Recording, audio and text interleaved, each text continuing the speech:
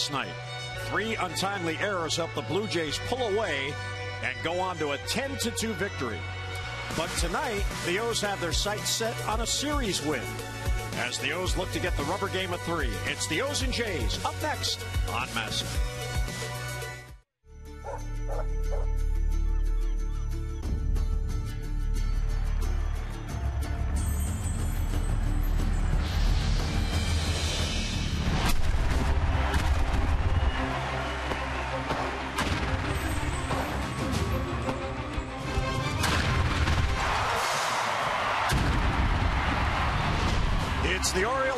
Orioles on MASN on a gorgeous night for baseball in downtown Baltimore. It's the Orioles and Toronto Blue Jays tonight in the rubber game of this three game series. And hi, everyone. I'm Jim Hunter. And for the Orioles early on this season, stringing wins together has been a challenge. They're hoping that changes on this nine game homestand where they have played more consistent baseball at Camden Yards. In fact, their longest winning streak of the year, three games, came here at Oriole Park. And the Birds have won three consecutive series here at home. And they're hoping a win tonight will give them four consecutive series wins. And sometimes the matchups work in your favor. And the Orioles are hoping that is the case tonight with Miguel Gonzalez going to the mound against the Blue Jays. Now, Miguel in his career has dominated the Jays. No one knows why, but he loves pitching against Toronto. He is 19 and 11 against the AL East, and he has six wins against the Blue Jays. The six wins are the most against any division opponent. And Miguel, as you see, has the best winning percentage of any Oriole starter in games within the division where the teams play so many games, and that is so important. So, Jim, the question to you is why does Miguel have so much success against one team in the division? Well, I would imagine they'd score him enough runs. And of course, you need to do this because the Blue Jays, we saw it last night, they scored 10 runs or more four times. They do lead the American League in, uh, in runs scored, hit three home runs last night, but he's a pitcher. Uh, he can't do what he did against the Yankees. He gave up three in the first inning. He got behind McCann, hit a two run home run on a 3 0 pitch. Uh, but he's a pitcher because he can change speeds, he can pitch to both sides of the plate. He's got a curveball, doesn't use it very much, slider, and then a splitter, which to me is really what gives good hitters trouble because it's a strikeout ground ball pitch. So he just has to do pretty much what he does against uh, when he pitches well, and that is throw a lot of strikes, get ahead, and then just hope that, that they can score him runs. And what about the confidence for a pitcher who goes to the mound knowing he's already had success against this lineup? Well, I, I, you know, I mean, I feel I pitched for almost 20 years. I think you you anticipate you're going to pitch well. But when you're facing this lineup and you saw what they can do, I don't think you ever take anything for granted. So, you know, Miguel's one of those guys that, uh, you know, he the bad knee, the, the Tommy John surgery, he's really worked his way to get here, so he's not going to take anything for granted. He knows he has to make quality pitches, and he knows he has to pitch deep in the game, which is what uh, the Oriole pitching staff uh, would like to do a little bit better job of. So a win here tonight, and the Orioles get two out of three heading into a team day off tomorrow. It's the Orioles and Blue Jays from Camden Yards. Lineups and first pitch are next.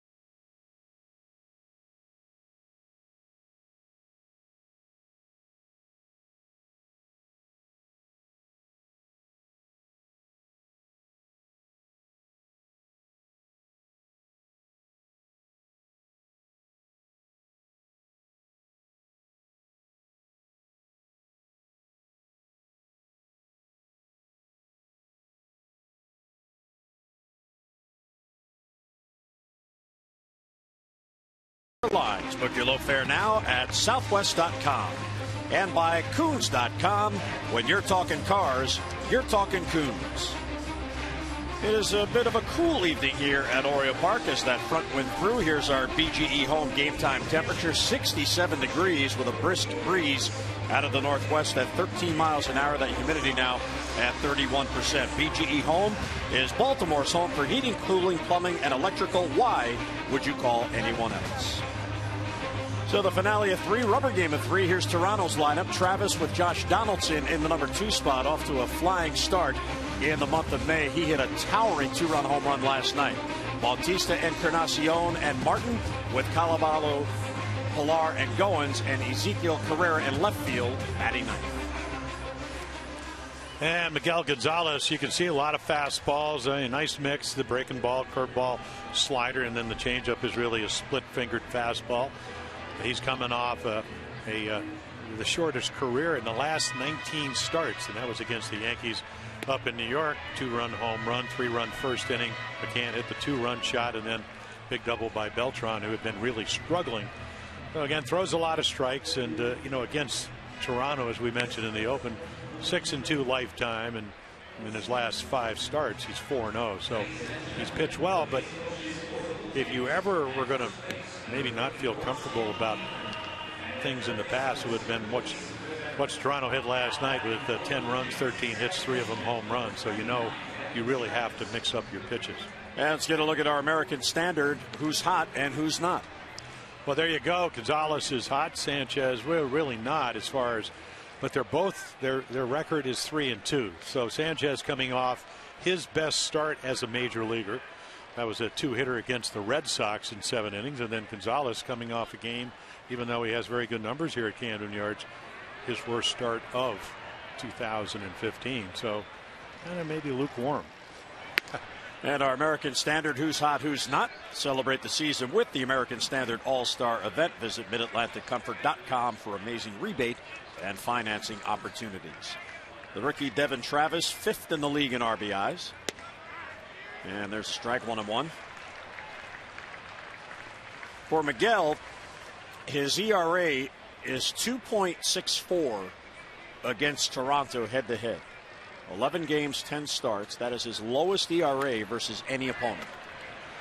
And as Jim pointed out, he'll be challenged by the way the Blue Jays are swinging the bat. Right, and and they they're an improved offensive team. I mean, before Encarnacion got hurt, uh, blew out the quad up in Oakland in July, uh, they were half game out of first base. Now they added Martin. They, you know, Pete Bautista's got a shoulder problem, but and they're right there. So you know, gets behind. He gets back in the count with a nice, well-loaded fastball and then a splitter, and then just the zoom ball up and away. And Devon Travis really good month of April, and uh, you know, in May maybe not getting the same pitches and a little more angst in the swing. So nice, at least debut. Because remember, against the Yankees, he did give up the three runs. So mm -hmm. the Yankees had a three nothing lead at the end of one up in New York. Josh Donaldson bats, one out, none on. And a little bit low. Donaldson having a real good start to his career in Toronto following the offseason trade from Oakland. 319 average. He is fifth in the league in base hits. He's got 43 hits. Mm. And he's got a six game hitting streak going as he comes into tonight's game. Yeah, kind of, uh, you know, talking to him down on the field. Uh, Manny Machado uh, in Monday night's game led off the, the game with a home run to right field. Now, Donaldson hit the home run to center. Encarnacion, both of his home runs last night were to right field. And again, all three of the hitters are right handed. So they was kind of kidding Manny, hey, if you can hit a home run to right field, maybe we can. So there he is, loves the ball. I mean, I mean, he's got a big hot power zone. That doesn't sound very nice. Well, Manny, if you could do it. No, well, what they're saying is, you know, I mean, that's a great approach. Right. Two and one on the check swing. And, you know, we talked about uh, Donaldson has great uh, power. We used to go into Oakland when he played with the A's, and you got to understand how fortunate they, they must feel to have him. Of all the players in the American League, the wins against replacement, that, and there's his manager, John Gibbons, second to Mike Trout the last two years is was Josh Donaldson. So he's not an A. He's a He's a J. Pop foul out of play to stay alive. And I thought you touched on it, uh, his mentality, because as you talked about, he did come up out of the Chicago Cub organization was a catcher. Mm -hmm. So his mentality is to come ready to play. Uh, you, you don't catch coming through the minor leagues if you're not a tough guy. Well, the other part of it, speaking of tough, he has a tendency to stay healthy as Miguel just misses inside. And Brett Lawrie, who he was traded for, a tremendously talented player, can't stay on the field. And he's a Canadian, so they really. Uh, John Farrell, when he managed Toronto, obviously the manager now with, with the Red Sox, said he, Lawrie can make a two hopper to third base exciting because of tremendous speed. But you're right, just not couldn't stay on the field. And he lost him on the 3-2 pitch. Donaldson works a one-out walk. As he heads to first. Lough, Jones, and De Aza, that is the outfield for the Orioles. Machado, Hardy, and Navarro. Rey comes back with the fact that Ryan Flaherty is back on the disabled list with a groin problem. Uh, Davis over at first, and Caleb Joseph catching all three games of this series. Jose Bautista, 219, but does have five home runs. He is four for 16 career wise against Miguel. And a strike. Well, he had a double. He hit it to, deep left center field. Snider robbed him of a potential home run. That would have been a three run shot. So says that the shoulder injury, the right shoulder injury, which keeps him from playing the outfield, doesn't bother his swing. And he's over 300 in the month of May after a very slow start. Base hit right field. Navarro was shading up the middle, and Bautista slapped it right by him. See, there's a real good stroke the other way. Well, there's right field. You know, a guy that you usually assume he's going to pull the ball. In fact, opening day, if you go back and remember, Bud Norris started for the Orioles. Bautista got, and they ended up getting 12 runs. He got a big hit, and he poked it into right field in the first inning, and uh, the Jays were off to the races.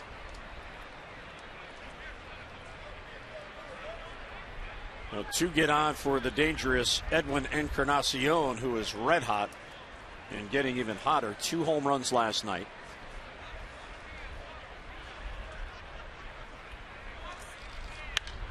And he pops him up. First ball swinging. Davis, Navarro. Navarro's got the better angle. And he's got it for the out. The infield fly rule was called. The two men down as Miguel gets a huge out. As Encarnacion jumping on that first pitch pops up. Yeah, the two home runs last night, one on a high slider. He hit that over the right center field fence and then hit about a 96 mile per hour fastball down and away off of Tommy Hunter. Just barely cleared the high wall here at Camden Yards. But again, if you you got to trust your stuff, and that's what Miguel Gonzalez uh, is able to do. Here's Russell Martin, the catcher who is batting at a 486 clip over his last nine games.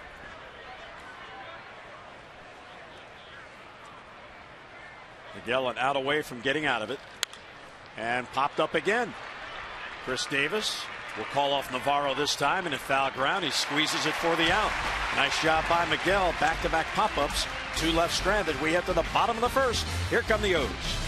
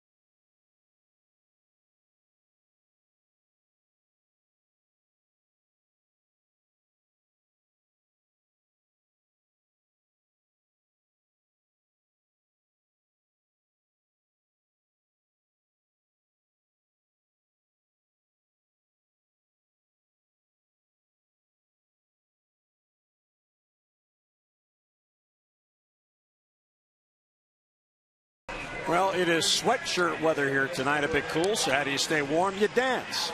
With the encouragement of mom, that youngster having fun at the ballpark. No scores. We head to the bottom of the first. We'll get a look at the O starting lineup brought to you by Southwest. Book your low fare now at southwest.com. Manny Machado in the leadoff spot, four for eight in the series with a home run and a couple of doubles. De Aza gets a start tonight right. Then Paredes, Jones, and Davis with Hardy at short. David Lough in left field, Caleb Joseph, Rey Navarro at second base, batting ninth to get another left-handed bat in there against Aaron Sanchez. So they know Sanchez. Uh, this will be the third start.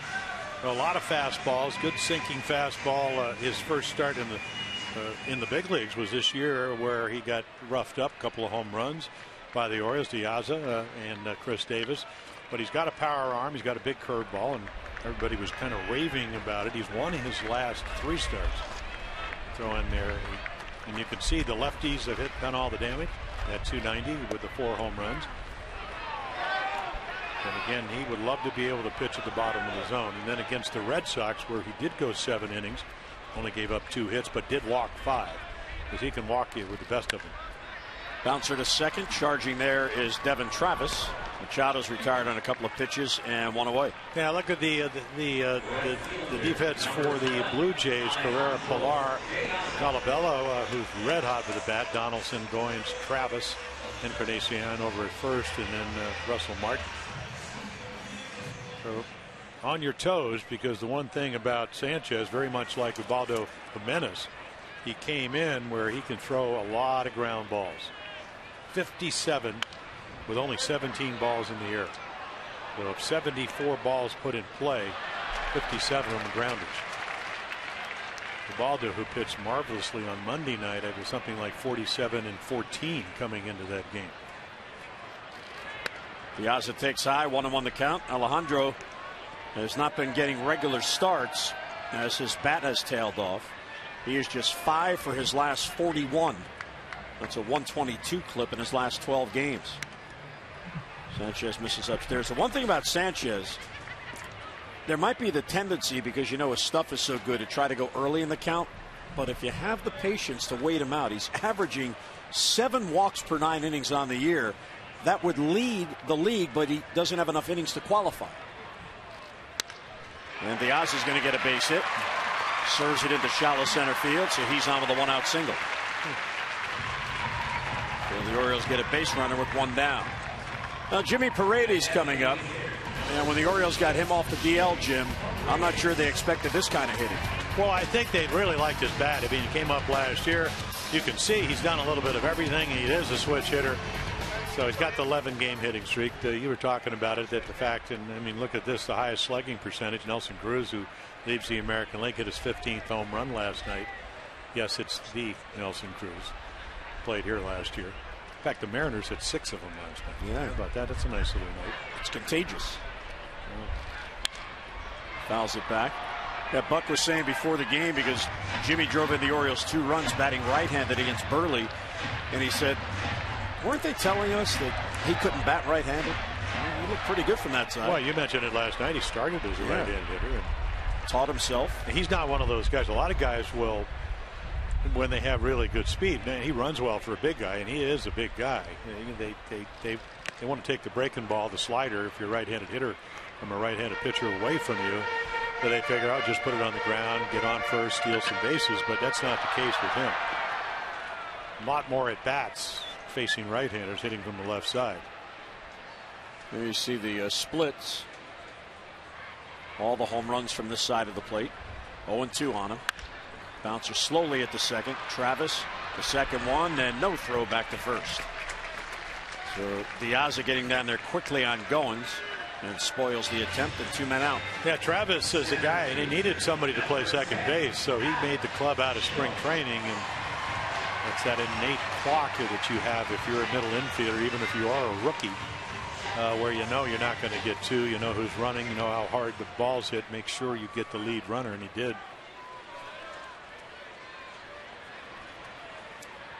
Here's Adam Jones now at 347, which is tied for second in the American League. He is six for his last 31, so that batting average that once was at 400, now at 347. And last night, he took an over. It was the first game all year at home he did not get a base hit. He was over 3 plus an intentional walk. Facing this 22 year old Aaron Sanchez out of Barstow, California. Yeah, that was a pretty big play where they pitched around Adam and intentionally walked him, and then Delmon Young hit into the double play. And that was in the sixth inning in a tie game. And they would, talking about the Jays, would score four runs in the seventh, another four runs. And when you look at the box score, it looked like a laugher. But it was a tie game going into the seventh inning. Sanchez ahead 0 2. Paredes, modest lead off first. Swept towards third. There's Donaldson. He'll go the short way to second. There's the force on Paredes. And the inning ends. So Sanchez with a strong start. We'll head to the second at Camden Yards. O's and Jays, no score.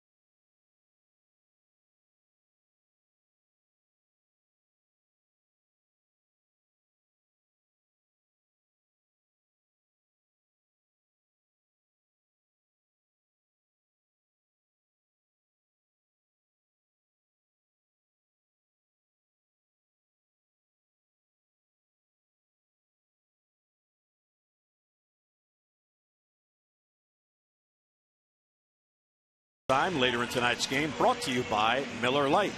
And there is the newest Oriole right there in the middle. That is Mike Wright. As he was called up today, Jason Garcia with shoulder tendonitis goes to the disabled list. Mike Wright, a third round pick in 2011, 25 years old, was pitching extremely well at AAA Norfolk. And last night, he had an interesting night. He was scheduled to start. Ron Johnson, the AAA manager, told him, You're not going to start, but go to the bullpen. We may get you in for an inning or two. He went to the bullpen, sat there for three innings. They called down and said, Come on in, we need to tell you something. He came in, they said, Get your car, go to Baltimore. So he went from starting in AAA to in his car on his way to Baltimore last night. Well, I saw him in the locker room. I said, I know you're here, but are you here? and he goes, I'm here. I mean, he's on the roster. First time. I mean, he's never pitched in a major league game. Going to be a big day for him. Colabello takes ball one. Uh, he was added to the 40 man roster over the past off season and was at FanFest, and he was involved in one of the fan forums with all the young stars of the future. Dylan Bundy was up there, Christian Walker was up there, and the question was posed to him. You know, we know you start, but how about if you make the club as a reliever in spring training? He said, if I'm in the big leagues, I'll do whatever they want. I'll pitch wherever they want. I'll do anything to stay in the big leagues. And here he is as a reliever, at least for the moment. Two and one on Colabello. So the sun is shining on Wei Yin Chen. It usually does. Look at that. The only part in the ballpark where sun is coming in. That's what happens when you lead the team in victories the year before. It's a fastball by him. Yeah, nice velocity, 92. And you know, Bautista hit a single uh, after the walk to Donaldson, and then uh, against Encarnacion, who had hit a Encarnacion, who had hit two home runs. He got him out with a fastball. And, Martin, who's been red hot, he got him out. Miguel has four pitches, and his fastball it moves, and when he stays out of the middle plate, very, very effective. There's another one. Davis hoping for a play, but that's going to sail out of here.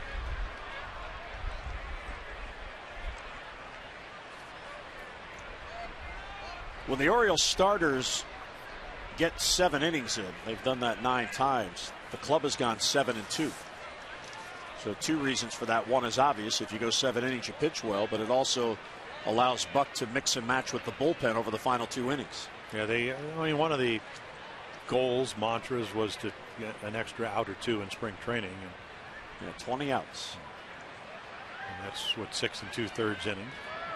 And he got him. Oh, outstanding off speed pitch. Well, it, Elliot Johnson was the utility guy that played against Miguel Gonzalez when Miguel pitched in the Mexican League, which is where Freddie Ferreira actually scouted him and eventually signed him.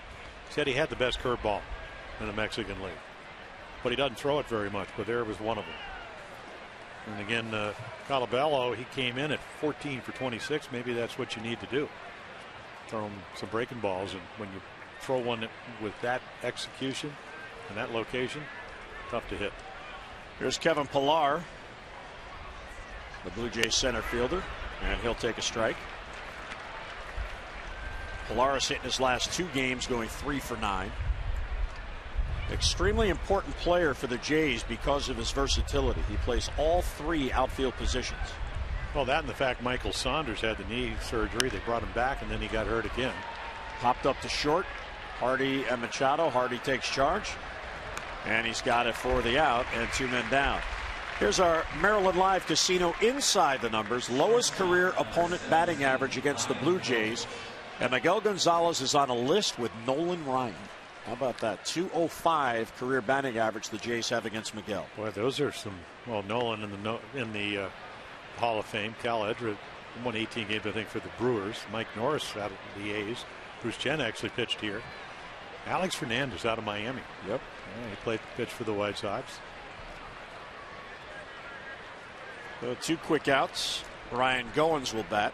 See if the Orioles can keep him off base tonight. Well, he got three hits last night, and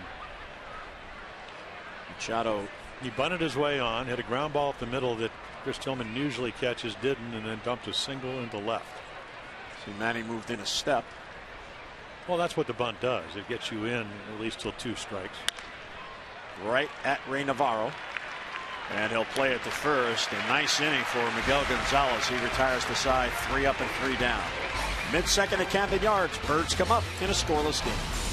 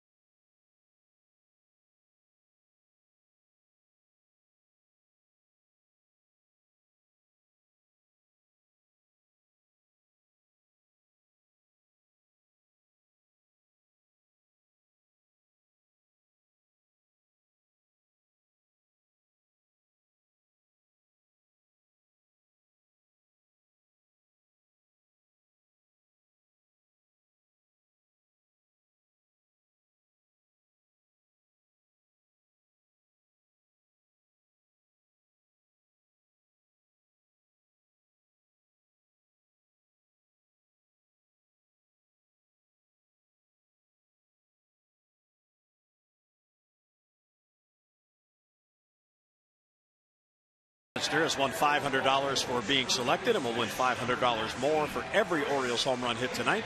Play Baseball Bucks scratch offs and win up to $50,000 or enter non winning tickets for a chance to be the contestant of the game. Visit mdlottery.com slash baseball. Good luck to Travis. Aaron Sanchez has allowed four home runs on the year, and three of those home runs have been hit by Orioles. Yeah, Chris Davis had one of them in his first major league start. Hmm. Just off the plate. Yeah, that was such a good curveball. It looked like it fooled the catcher, and he called it. Like Martin put the glove up and then he said, "Oh no, I better get it down." Well, he didn't have any chance to present it.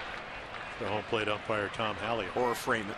I would imagine with Tom Hallion, it's, it's got to be a smaller strike zone than the last two nights because the strike zone both nights have been pretty ample. Bruce Dreckman at third tonight. He had the plate last yeah, night. Dan Bellino, uh, he called the low strike. Jimenez took advantage of it. There's a four pitch walk to well, begin the second inning. So what you talked about. Chris Davis, very patient, works the walk. And the Orioles get a lead off base runner. This weekend, the Orioles take on the Angels. It's a three game series. And on Sunday, the first 10,000 female fans, 15 and over at the game at 135, receive an Orioles wristlet presented by PNC Bank. A good seat still remain for this rescheduled promotion, but they are going fast. So gather up your family and friends and celebrate Sunday at Oriole Park. For tickets, Orioles.com or call 888 848 Bird. And J.J. Hardy takes high. Uh, you, and you could see Aaron Sanchez already. That's five straight balls, seven per nine innings, power arm, only 22. Did uh, get to start coming through the minor leagues. In fact, uh, got called up, uh, what, July 23rd last year. He'd been a starter, double A and triple A. There's six straight. So at 22, it's sometimes hard to do. You got to figure out, okay, what's going on here? Pete Walker looking on. Am I, I mean, uh, am I overstriding? Am I jumping out? There's, there's, seven in a row. And of course, Earl Weaver's theory was if you're high, bounce one. And then I would always say, well, that's a ball too. And then he'd look confused and go back to the dugout. But basically, what Earl was trying to get you to do is make some kind of adjustment. And I think when you have limited experience, it's harder to do. There's a strike. Yeah, JJ taken all the way. And you, you hope that you get Sanchez to do is what he did in that first game because he was wild, did throw the two home runs, and first thing he said the next day is I was aiming the ball. I just didn't let it go. And that's outside ball four. So this is a pattern that has followed Aaron Sanchez. Lowest percentage of all pitches thrown for strikes this year. Aaron Sanchez 57% out of the strike zone. And you look down the list, Daniel Norris was a guy we saw a couple times in spring training. Uh, you know, another uh, number number two draft choice. Uh, Sanchez at, the first round. So again, these two guys were going to be part of the starting starting staff. Marcus uh, Stroman, who won 11 games last year, uh, he hurt his knee doing fielding drills, so he'll be gone for the year. David Lough up, squares the bunt, gets it down, out in front of the plate. Russell Martin thought about second, fires to first and a perfectly executed sacrifice bunt by David Lough. So Buck Showalter early in the game here playing for a lead. And after the back-to-back walks, David Lough gets it done. Yeah, you usually don't see this in the American League with the DH because you got nine guys giving up one of your 27 outs early on. But I think it might have something to do with the fact that Miguel Gonzalez pitches so well against the Jays. Uh, you put the pressure, they're going to play their infield back. So Caleb Joseph, fly ball, ground ball up the middle is going to score a run. Only the ball down the third baseline to Donaldson. Might he come home? Well, Martin called for the breaking ball there, and it bends in for a strike. Caleb 0 for 4 in the series. And he is 0 for 7 over his last three games. Well, he did have the sacrifice fly uh, on Monday night. He drove in the, uh, the, I think the third or fourth run, and and a foul ball pulled down the line. Tried to hold up the swing and. Yeah, so back to back curveballs. veteran catcher Russell Martin saying, okay, not commanding the fastball. Caleb is batting 355 at Camden Yards. Of course, the club overall is batting so much better here than on the road. That's why they were so anxious to get home and get this homestand going. 0 2. Line drive, base hit down the line. It just stayed fair. Here's Davis to score. Hardy right behind him, and Caleb's going to cruise in the second with a two-run double. What a huge hit on an 0-2 pitch, and the Orioles grab the lead. Yeah, when you triple up with a breaking ball, and that's what he does. I mean, he goes back to back to back curveballs. Watch this one hang, and he gets it off the end of the bat, and he hooks it just to the left of Donaldson. They're able to keep it fair. Might not be a bad idea to throw three breaking balls, but when the third one is not as good as the first two, Orioles take advantage of it. So the good luck charm, Caleb Joseph, comes through as Navarro takes a strike. The Orioles, since Caleb has come to the big leagues, are 23 and 3 when he has an RBI. 23 and 3. Does he know that? You know what? I think he might. Okay. Somebody may have told him. There's a bouncer to second off the bat of Navarro. Travis will get him. Two men down. Joseph goes to third. So this is a real good team inning to manufacture runs. You take advantage of the back-to-back walks to begin the inning. Then David Lough lays down a perfect sacrifice bunt. Well, not very often do you give up an out in the first inning against a team that leads the American League in runs. But then you do put pressure on the young pitcher.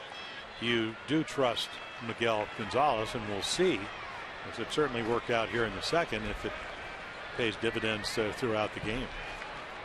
Manny Machado second at bat. Down and away, and a wow. nice job by Martin. Saved the wild pitch. That ball almost got by him. He's kind of sitting inside mental and just has to, I mean, just spear it out. And boy, it looked like he just didn't see it very well. And then late reaction, able to keep it from going to the backstop. Another nice block. Sanchez has already thrown four wild pitches over his six starts. He was expected to be in the bullpen, but as Jim mentioned, when Stroman got hurt, moved into the rotation. Maybe a. Yeah, they thought he might be the closer because of the way he pitched last year out of the bullpen. There's a good curveball. Well, he's won his last two starts at Cleveland and home against Boston. Just two earned runs total in 12 and two thirds innings. And Manny having a patient at bat gets ahead three and one. Well, he's another. I mean, if you look, I mean, Buehrle had what over 10 runs a game. Hutchison, one of their other starters, the most, number one, over 11. He gets 6.4 runs a game. So I think he'd be a little more patient with his wildness if you're John Gibbons. Towards the gap in left center field. That ball's down, and that is a base hit off the wall. Manny flying around first, trying for two, and the throw is off the bag. There's an RBI double for Machado, and it's 3 0 O's as Caleb Joseph comes in. So you give up an out, and you still get three runs thanks to clutch hitting. Manny hit close to 400 over his last 13 games, and boy, you work the count, three and one fastball. He's looking for it. You could see him really get the bad head to the ball, and no chance for Carrera to run it down until it hits the wall. So clutch hitting by Joseph. He scores on a uh, again. You know you're going to score a lot of runs when you get two out base hits. And Manny with that double has reached base for a 19th consecutive game tie a career high. He also extends his hitting streak to six in a row. So a pair of RBI doubles. Joseph with one down, Machado with two down. Hey, what's Darren O'Day doing in there? He's going to be moseying out, Too out early to, the, for, to the bullpen. Yeah. I don't think Darren would qualify as a long man. No. That's one of the fascinating things about relievers, the routines they have. Remember how quirky Randy Myers was? He would always go out in the sixth inning he would wait until the sixth inning and then he would mosey out to the bullpen. I thought you were talking about the uh, the, the, camouflage outfits he used to wear and the hand grenades. He was something. I'll tell you what. Uh, he, could really pitch. Oh yeah! I mean, what a year he had for the Orioles in. I enjoyed being around. Him. Oh, I thought you know. Uh, it's funny if he struggled, he'd actually one of the few young guys. He said, "Hey, do you see anything?" And I said, "Well, you're just falling off a little bit." He said, "Yeah, that's the way it feels." Maybe I'll try to change that. Slice down the line. But boy, what a great year. The Orioles went wire to wire the year that, what do you have, 46 out of 47 One saves, blown save. And he was two outs, nobody on him, one and two on the hitter against Oakland. Sunday night game? No, it was a, it was a getaway day day game. Spiezio doubled the opposite way, and then he hung a slider to Giambi, hit a home run. One and two on De Aza, breaking ball check swing. And it bounces in there. But Randy, when he would go out in the sixth inning, he'd talk to the first base umpire. Then he'd get to the second base umpire, figuring, well, tomorrow that guy's behind the plate. I want to, you know, build up some uh, rapport here with him. Machado at second base with his 16th RBI and a 3 0 Orioles lead. This ball's hooked to the corner. That's going to be a base hit for De Aza. Machado rounds third. He will score. And Alejandro's hitting the second base with a double. Three RBI doubles in the inning, and it's 4 0 O's. Yeah, Buck Showalter goes back and pay, takes a little uh, history. The home run the first time they faced. In fact, he led off the game against Sanchez. So he's got two good pitches to hit. Fastball the first time, another fastball here. Boy, the Orioles really getting some good pitches to hit, not missing them, working the count. Doing all the things they couldn't do against Mark Buehrle last night, who won his 204th career game. So De Aza, 5 for 41 coming in, is 2 for 2, and has an RBI, his seventh. And here's Paredes. Upstairs. And the other thing runs, Jim, a career high for Sanchez. Yeah, and the other thing that happens when you struggle sometimes, and you know, it's all right to give up singles. You don't like to give up, uh, you know, singles that score runs, but when you get the revolving door of having doubles, they end up right into scoring position, and even more pressure already down by four runs. And that gets away from Russell Martin, and De Aza easily gets to third. Yeah, that'll probably be a wild pitch, but that's a catchable ball. He just he just tries to backhand it, doesn't keep it in front of him, and it's just tough play. So the fifth wild pitch charge to Aaron Sanchez. De Aza at third with two men down. Hmm, good late life there. Francis now getting loose. Yeah, we saw him briefly on uh, Monday night.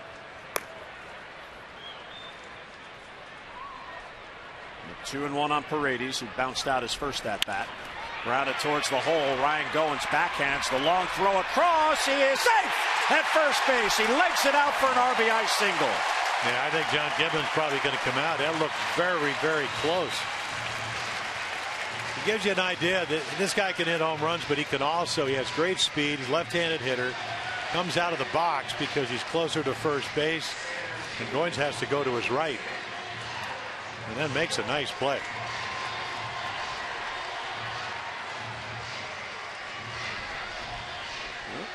There's one of those uh, very close. Looks like Gibbons is looking back down the uh, the runway to see.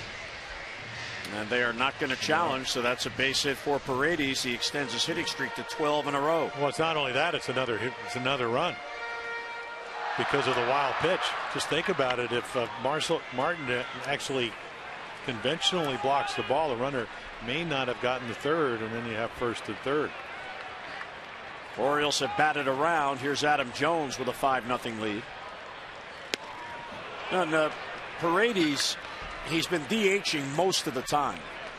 But he wants to help this team so much that yet again today, early, prior to 3 o'clock, he was out with Bobby Dickerson working on his defense, first at second base.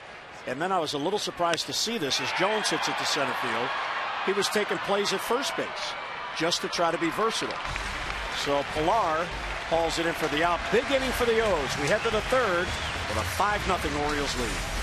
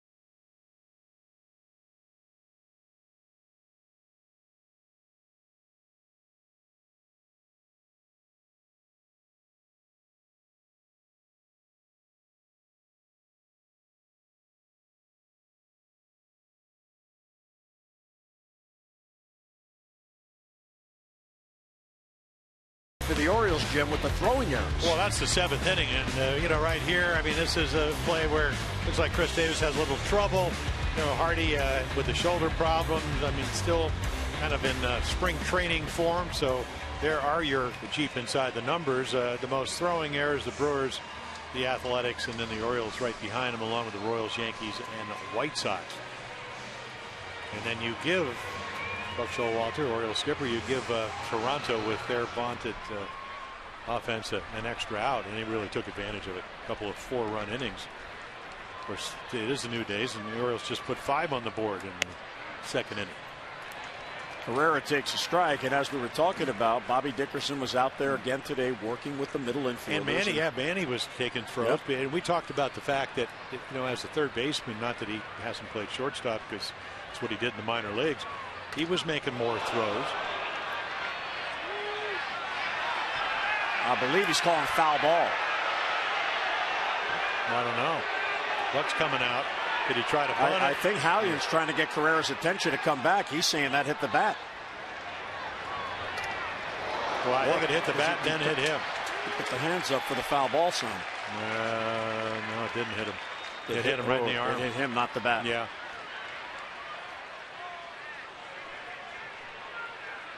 Got hit last night. Uh, Chris Tillman over rotated, got him.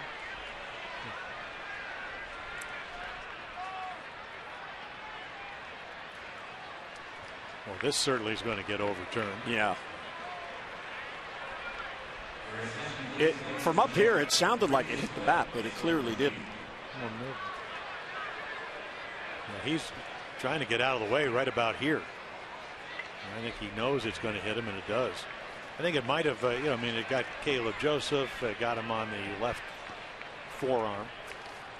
What What is it with Carrera with trying to bunt? He's tried twice in this series. Each time he's been plunked. Well, he hit two doubles Monday night. Maybe got a little tired and figured I'll bunt my way on.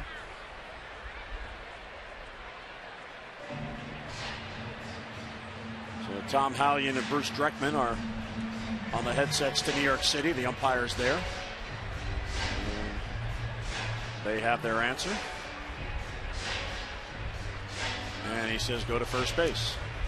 And that was the right call. Well, that's what they're looking for. and they need base runners. So Buck's going to come out for an explanation.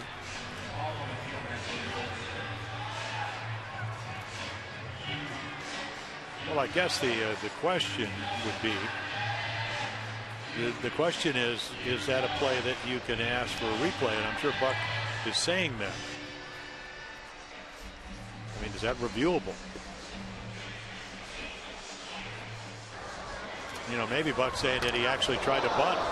And, in, in, and if you get hit when you try to bunt, now take a look. Does he try to bunt it? I think right there he sees he's going to get hit. He gets the bat out of the way. But I'm sure Buck is saying, was he in the act of bunting? And we saw that earlier in the year where if you do that, uh, the ball's dead, runners can't advance, and it's actually a strike. Well, he he pulled the bat back there. Yes, so. he did. Oh no, I mean he got hit by a pitch.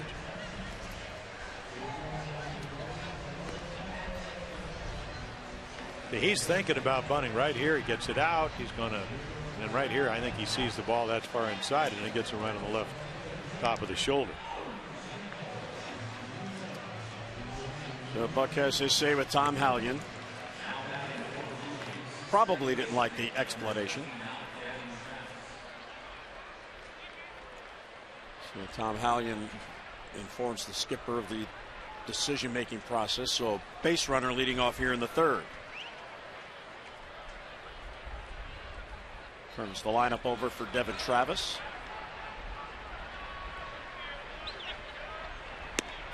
And there's a strike. Let's get a look at the overhead, Jim, and see if he gestured. Yeah, he has every right there. He, I mean, it's almost like he's just trying to get out of the way. Right. But I certainly can understand what Buck Showalter's talking about it because if you go to bunt it and it hits you, it's like swinging. Well, and there's a base hit the right field for Travis. De Aza is going to play it in. Oh, what are you Whoa, he's doing? throwing to third, and Well- allows the runner to move up. Well, that's why. That's why you know he hadn't. He's been struggling. I mean, I just don't understand that. I mean, this is a veteran player. Uh, you know, I talk to people that it, in Chicago have seen him play, and you just can't be thinking. You, you, I, it's, it, I can't even talk, and I'm not very speechless. So the first two reach, and because of throwing to the wrong base, two in scoring position with nobody out.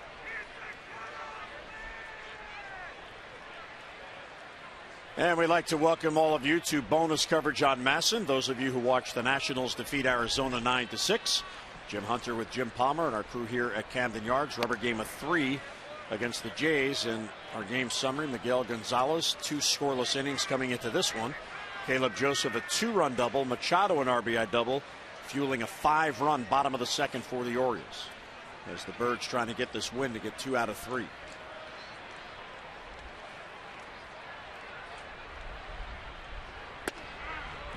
perfect slider there. I mean, it's almost like Alejandro De Aza did forgot they scored five runs.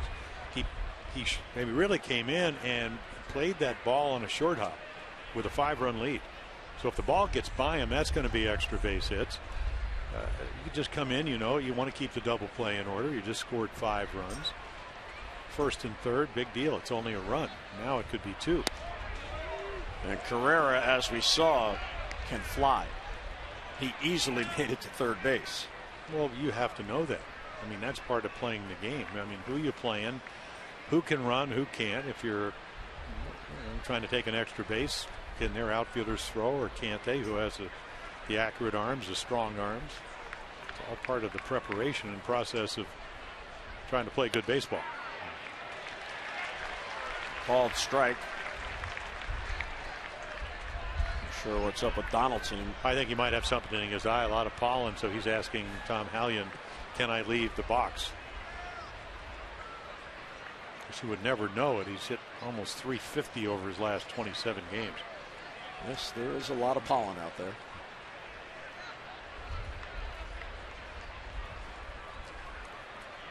Two and two on Donaldson. Bounce towards third. Machado will go after the runner at third. He got him! He gets Carrera at third. The little gesture to throw to first. Carrera was in no man's land, and Manny, with a heads up play, gets a big, big out. Well, the first thing is he, he cho- chooses to play the short hop because Donaldson runs pretty well. And when he does, I'm not sure Carrera knows he's going to catch it. And then right there, able to tag the leg before he gets it in. And there's a Bruce uh, Dreckman. Oh, it's a great play just to catch it because he thought he might be able to get it. And then very bang, bang. And of course, Carrera says, no way. And yes, way. What a big play for the Orioles. And this is becoming the norm now. Tom Hallion staring into the Blue Jays bench and and he wants it looked at. Well, it was very close. It was, It was a- challenge in this inning. Yeah, they were not going to get the the lead.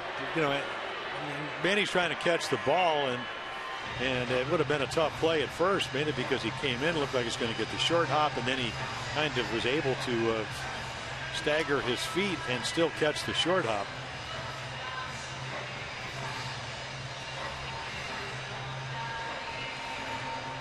Well, it wasn't one of those routine plays that with a five nothing lead, you take the sure out at first. And of course, they have to have evidence that the call was wrong to overturn this. The call on the field was out. Yeah, so again, if, if unless there's a, a more definitive shot, they would think right there, okay, he did tag him. And that's what Bruce Dreckman down at third thought. And he's out. So not enough evidence to overturn it. Well, what a huge play that is. It, it, it erases the uh, horrendous throw by Alejandro De Aza.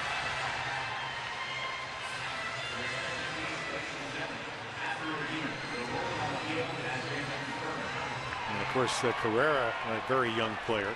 I'm not sure why he was getting off the bag. Okay, so now the Blue Jays are out of challenges unless they ask for a crew chief review, which they're very good at. hey, why not? You may as well ask. So here's Bautista first and second, and one down now. Oh, if Miguel could get a ground ball here. Foul back, coming back to Mr. Palmer. 57 seconds to uphold that call. Well, he hit a uh, line drive into right field, a fastball away, and then Miguel Gonzalez would get a couple of pop-ups on fastballs.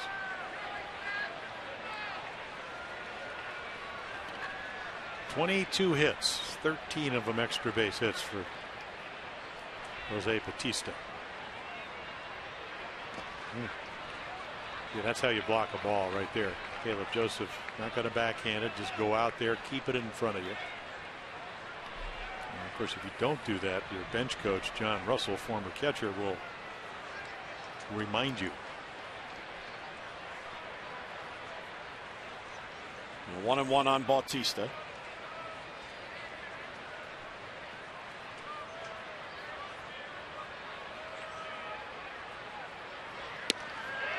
Just outside. The one thing about Bautista, you know he's a slugger. I mean, you, see the home run totals and leading the league in home runs, but he is a very good batter and has an outstanding batting eye. I mean, he had 54 home runs in 2010, 43 and 11, but he is a hitter. He's well, not just a slugger. 35 last year, and uh, if you don't throw it over, he usually will take the walk. 26 of them this year. And again, he knows who's coming up behind him. You know, a guy that hit 36 home runs last year, even though he was hurt, and he hit two last night, and that's uh, Edwin Encarnacion. Hit towards third, Manny's got it. The second one. Navarro back to first. Double play, and Miguel Gonzalez pitches out of it. Outstanding job by Miguel. Machado got it going, getting Carrera at third. And Machado kept it going with this 5 4 3 to end the inning.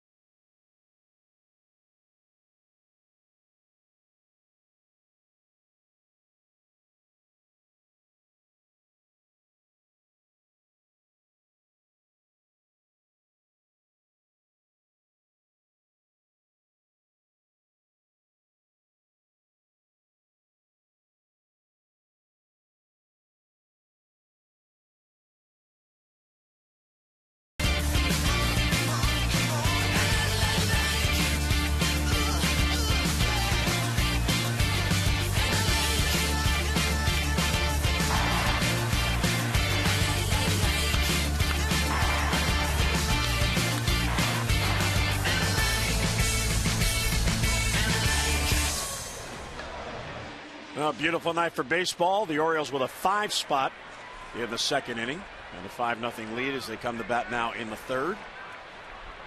Trying to win this series. They have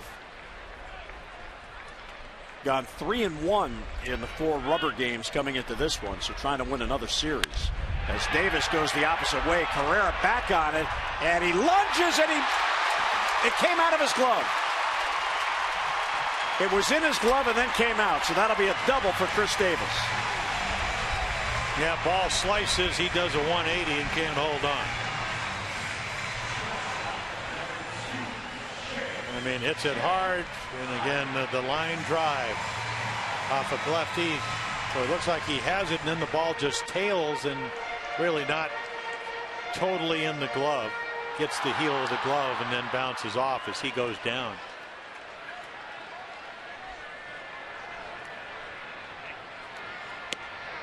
And J.J. Hardy will take a strike, so more pressure against the youngster Aaron Sanchez. Well, you want to, and again, if you're J.J., what he did so well last year, I mean, the home runs went down and you know, only hit nine, but he hit the ball to right field. And he still, I don't care what the scoreboard says, you want to put more runs mm -hmm. on the mm-hmm. board.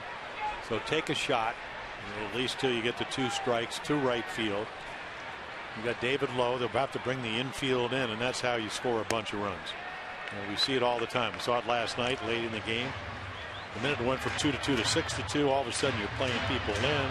Already made the throwing error. I mean, you just force the other team to play prevent defense, and it opens up a lot of holes. Another scoop by Martin to prevent a wild pitch. Yeah, you know, you looked at Sanchez's numbers last year, and he came out of the minor leagues in, in July, strictly out of the bullpen. 14 hits in 33 innings. But the one thing that he's doing this year that he didn't do last year, he only walked nine. Nine in 33 innings. But as a starter, you know, the control has not been there. Inside ball three. Well, he was a first round draft pick of the Blue Jays out of high school in Barstow, California. That was in 2010. And he was a compensation pick. The Blue Jays lost Marco Scutaro and the Jays turned Marco Scutaro's departure into Aaron Sanchez. Boy, he's got a good arm. I mean, right now, I don't know if it's the mindset when you go from the bullpen. We saw Kevin Gausman when he went from starter to the bullpen. He said, I like it out there. I could come in, power the ball. This ball's lifted to left field. Long run for Carrera again, and this time he runs it down. So it hung up there long enough for Ezequiel Carrera for the out as Hardy's retired and one away. You can celebrate summer at Oriole Park by picking up the new Birdland Summer Six Pack. Pick any six games of your choice for the remainder of the season. You'll enjoy savings of up to 20% off the cost of single game tickets.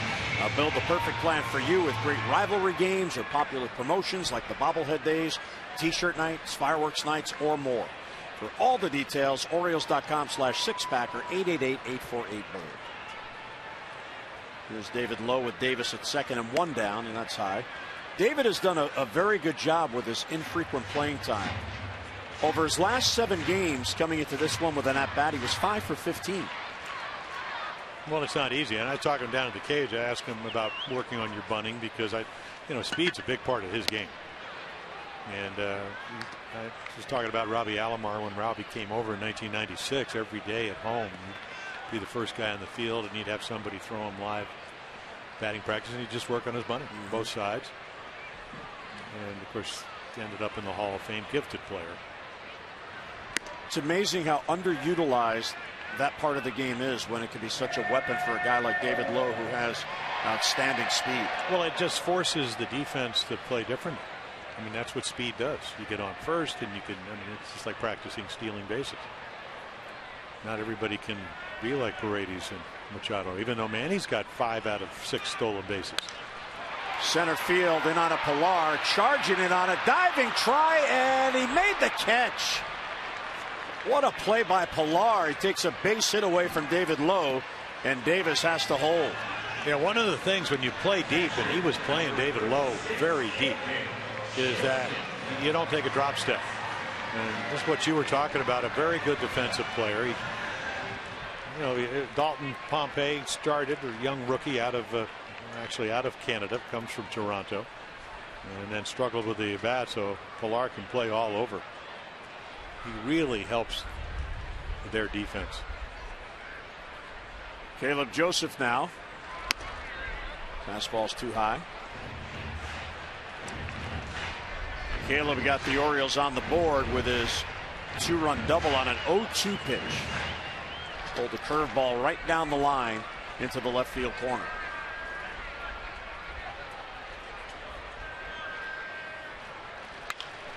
Grounded right to Donaldson at third, who backhands.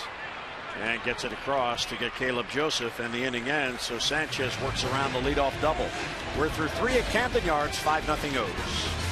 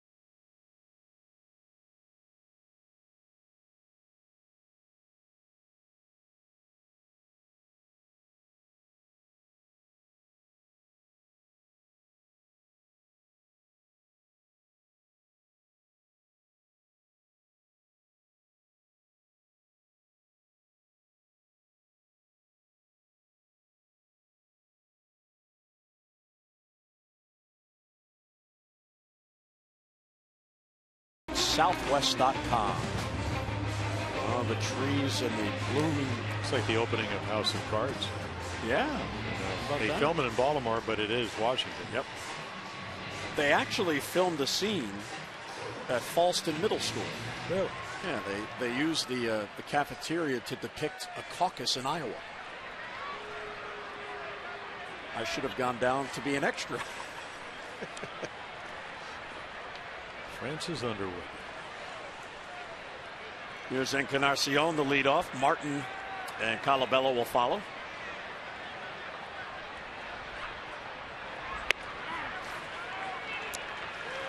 Well, Miguel Gonzalez, uh, he did the magic act to get out of that third inning. Second and third, nobody out. They don't score. And a little bit inside. Encarnacion popped up to second his first at bat. Toronto had two on first and second. I think we're in the fourth inning, and I don't think he's thrown a split fingered fastball yet. Setting him up. Yeah. You know that that's another part of baseball nowadays that certainly has changed, and I've heard you talk about this for quite a while. That just because you have all the pitches doesn't mean you have to use them to every batter. You know, save something for later on. It's not an audition on Broadway. You don't have to show them everything you can do. Falls behind Encarnacion, two and one. And fouls it back. I mean, one of the great left-handed pitchers of all time, 16 straight Gold Gloves. Uh, Jim Kaat used to talk about how when he came up with the Twins, uh, Earl Battey, was a terrific catcher, and they'd see how far they could get in the game not throwing a breaking ball you know, adding, subtracting, using your fastball changeup. Said, how far did you get? He goes fifth inning one day. And Jim Kaat had a nice breaking ball. I mean, go back, and I, have always been a guy that thought he should be in the Hall of Fame, but if you go back over a 15-year period, I think the guys that won the most games were Bob Gibson and then Jim Kaat. But he's always seemed to, with the Veterans Committee, a, a vote or two short. Yeah. Hopefully at some point that might change. And Encarnacion works the count to three and two. Well, we were talking about the home runs that he hit to right field, and uh, one of the points is that John Gibbons, his skipper, saying, well, pulling off some pitches, and then all of a sudden you use the whole field, and you have this kind of strength. It allows you to let the ball travel a little bit farther. It's a tougher you get you out on the front and the breaking ball. As he does here, De Aza will run it down for the out and disappear. So Not didn't nice quite get enough on it. Nope. Well, he just got it away enough, and then the ball slicing away from it. We saw Carrera have trouble on the Davis double. Nice, nice grab. And the other thing is, is that, you know, I mean, this is his first year in Baltimore. So again, learning to play. He's played left. He's played uh, right field. You know, you think it's. Still remember Chris Sabo when he moved from second base to right field. I said, "Did you ever play the outfield?" No. How are you going to do it? I'm going to turn around, play it off the wall. But that's not what we're used to because of Nick Markakis right. and his Gold Gloves. There is an art to playing here because of a little bit like Fenway. It's a shorter version of Fenway Park.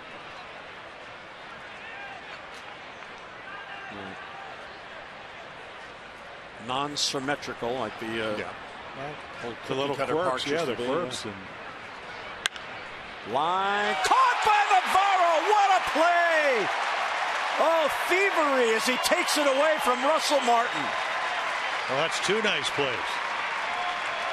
Last night was a disaster defensively. Tonight, other than the De Aza throw, here's the hanging slider that Martin just crushes. And Navarro, Rey, nice job.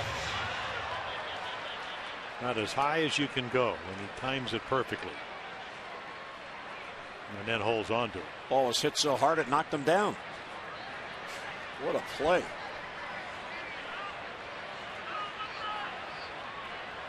Two down. Here's Colabello. Struck out his first at bat. Weekly grounded past the mound. There's Hardy. JJ guns it the first and scooped by Davis on the back end. There's a three up, three down inning for Miguel, his second of the night. Bottom of the fourth, coming up with the O's in front.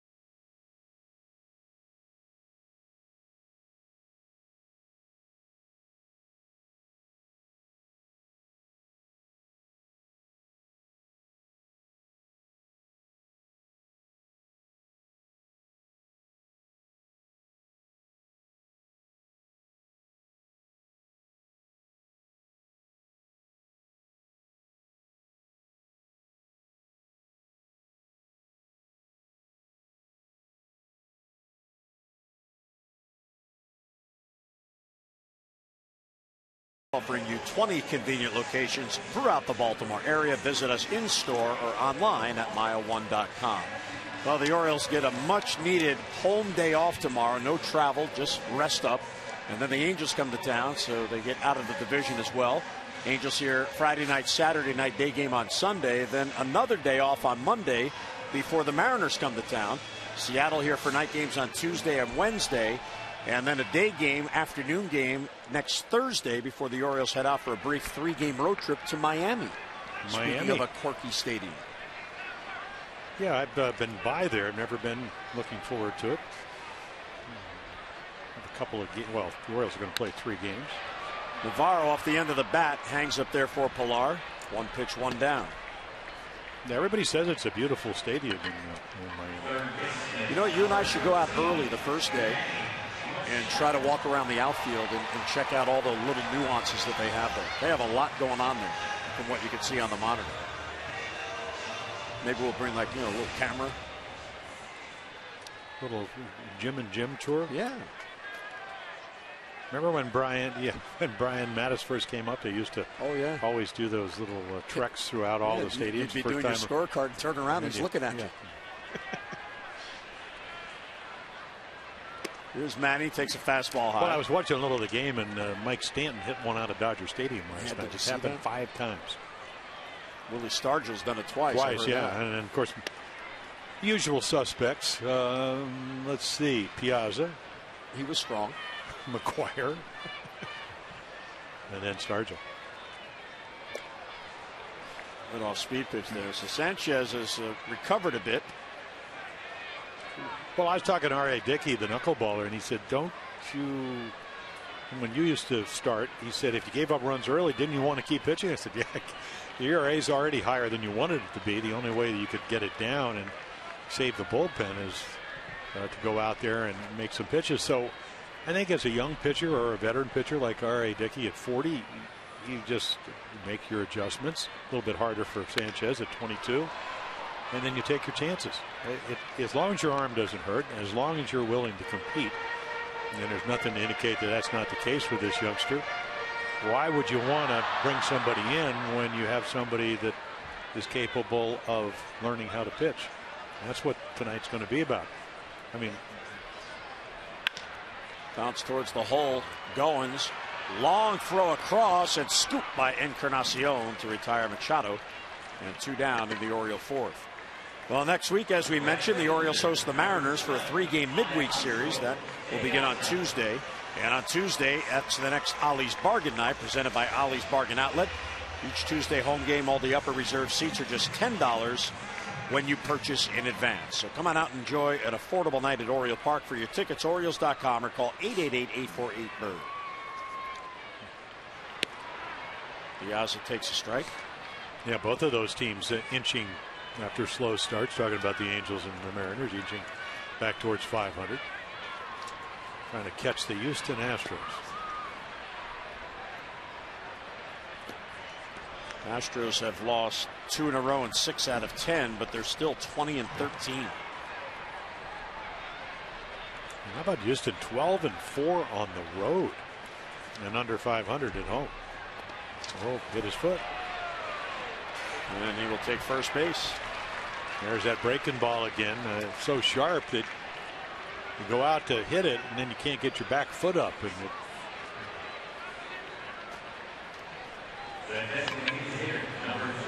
actually got the front foot. I thought he got the back foot. Well, De Aza is on for a third time in this game. He's got two hits, including an RBI double, now a hit by pitch. That is the second batter Sanchez has hit on the year, and here's Paredes. Infield RBI single, his last at bat to extend his hitting streak to 12 straight.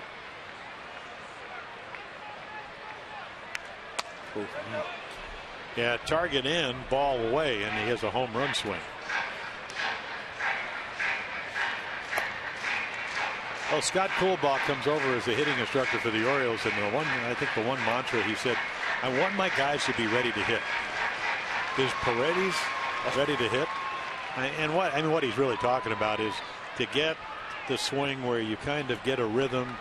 You know, you always talk about the kind of loading. Mike Bordick talks about this all the time. Being ready to hit is, you know, getting the hands in a hitting position, and and then of course you got to do your homework. What what can they get over? What's their best pitch? How they got me out? Look at those home numbers. But he's a very aggressive guy. And they've tried to get him out with all kinds of stuff. You know, I mean, they, you know, he's a good fastball hitter, so they're going. There's a running fastball. I mean, throwing him changeups and breaking balls. And as any hitter, you can get him out if you make quality pitches, but if you don't, he's going to have some awfully good swings. And he's still only 26. He has uh, some time ahead of him. That's just chasing out of the zone. He has a little bit of Robinson Cano who will come in with the Mariners. You know, very relaxed. Obviously, if you could be the type of hitter Cano is, be pretty happy.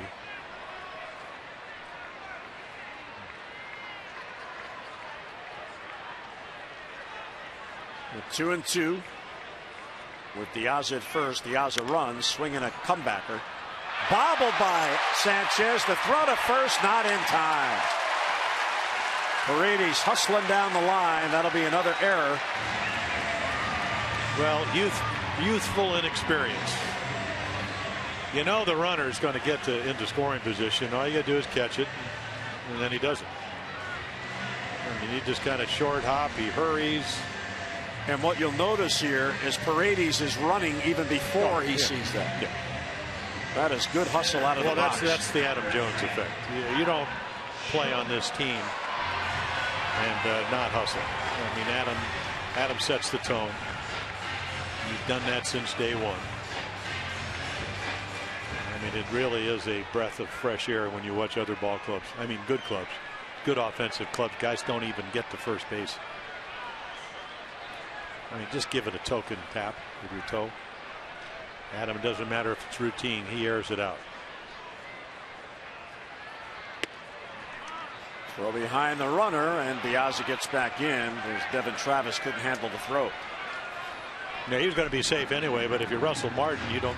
You'd, you'd, you'd like to get Sanchez out of the inning without having to face Adam.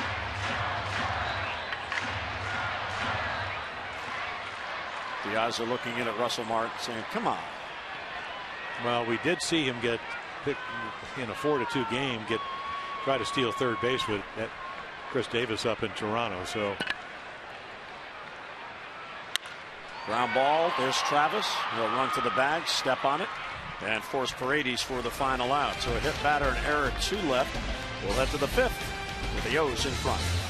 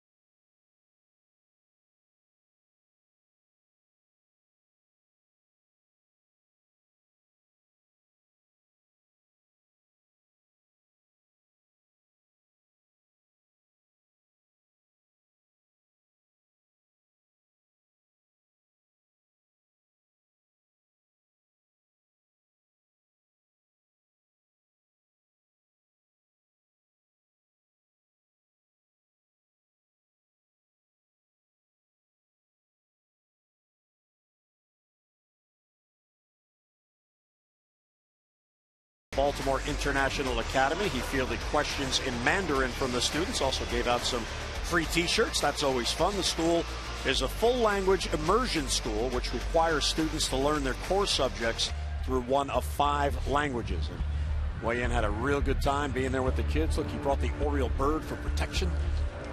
Nice to have a big bodyguard. and he's going to pitch. Yeah, he'll be pitching on Friday night when the Angels come in. Oh, he'll love that. It's an AL West team. Well, what do you mean? Only 13 and 2 against the AL West. Tillman, I think, is 14 and 2.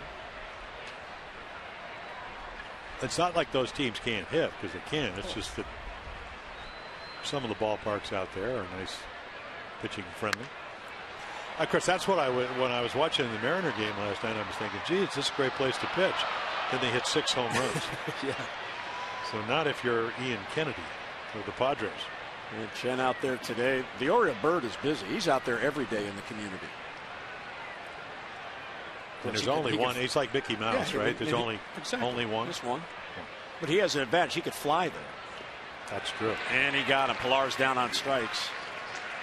Pilar trying to say that he fouled it. Fouled it, but Tom Hallion no. having none of it.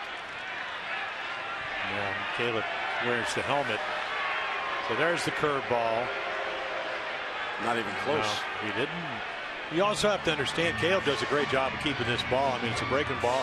Easily could have gotten behind him.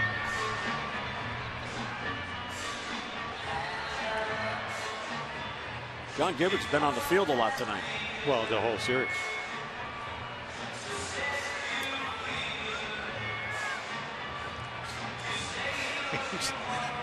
Just come on out. I mean, Buck doesn't like this because he doesn't want his starting pitcher to have to wait. I mean, he he's probably asking Hallion, well, why don't you ask the first base umpire if he saw something? It looked like Hallion saying, well, I don't need to because I know he missed it. And he did. So that is strikeout number three for Miguel. Here it is again. And clearly under the bat. As the ball sunk under the barrel. Ryan Goins now 0 for 1. And a strike. There's your first splitter in the fifth inning. There you go. Four pitches. He's got a tremendous mix. Only 10 and 9 last year, but uh, did have the lowest ERA of any of the Oriole pitchers. Starters. Should correct that. Bullpenners with lower ERAs.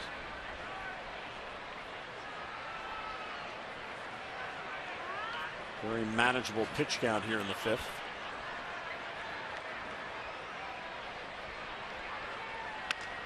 Popped up. Navarro.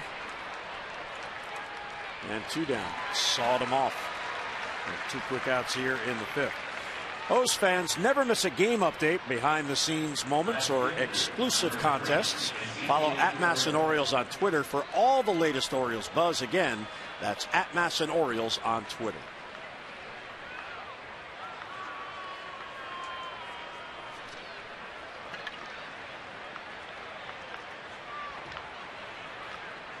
Uh, two quick outs. Seven in a row retired by Miguel. Well, Jim, how about this? If Miguel wins this game, long way to go, but he's got a 5 0 lead. He'll have 34 wins as an Oriole. And 17, exactly half, will have come in games following an Orioles loss. Where you, you need your team, you're trying to pick your team up, and especially in this case because it wins you a series. Well, I just think he knows how to pitch, and he's underrated. A lot of people they say, well, he doesn't strike out enough people. I, you know, did strike out 10 Yankees, not in his last game, but early on. He keeps you in games. I, that number that it's in our notes about 18. I mean, the last game in New York is the first time in what 18 starts he did not pitch five or more innings. That's what you want consistency. He gives you a chance to win. And in four of the six starts, three runs or less. Towering pop up center of the diamond.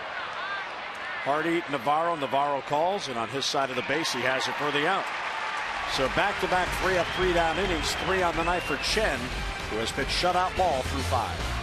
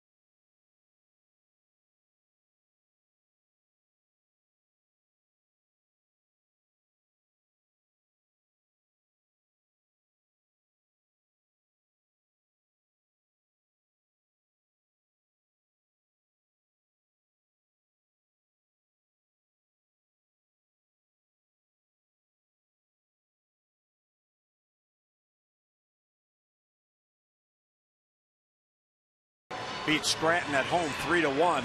Two run home run by Dariel Alvarez in the bottom of the eighth. Henry Urrutia worked a one out walk. And then Alvarez hit the home run. Chris Jones, five strong innings, no runs on seven hits, and Oliver Drake got the save. He's been pitching real well. Well, look at that. Uh, Scranton gets 12 hits, but only one run. So they scattered. That was my first roommate. Robin Roberts pitched a 13 hit shutout once, but he knew when to give up the hits. For Jones, just his second start of the season, he allowed seven hits, walked three, and somehow did not allow a run. So a nice job by Ron Johnson's club, and here's Chris Davis leading off. Hardy and Lough will follow.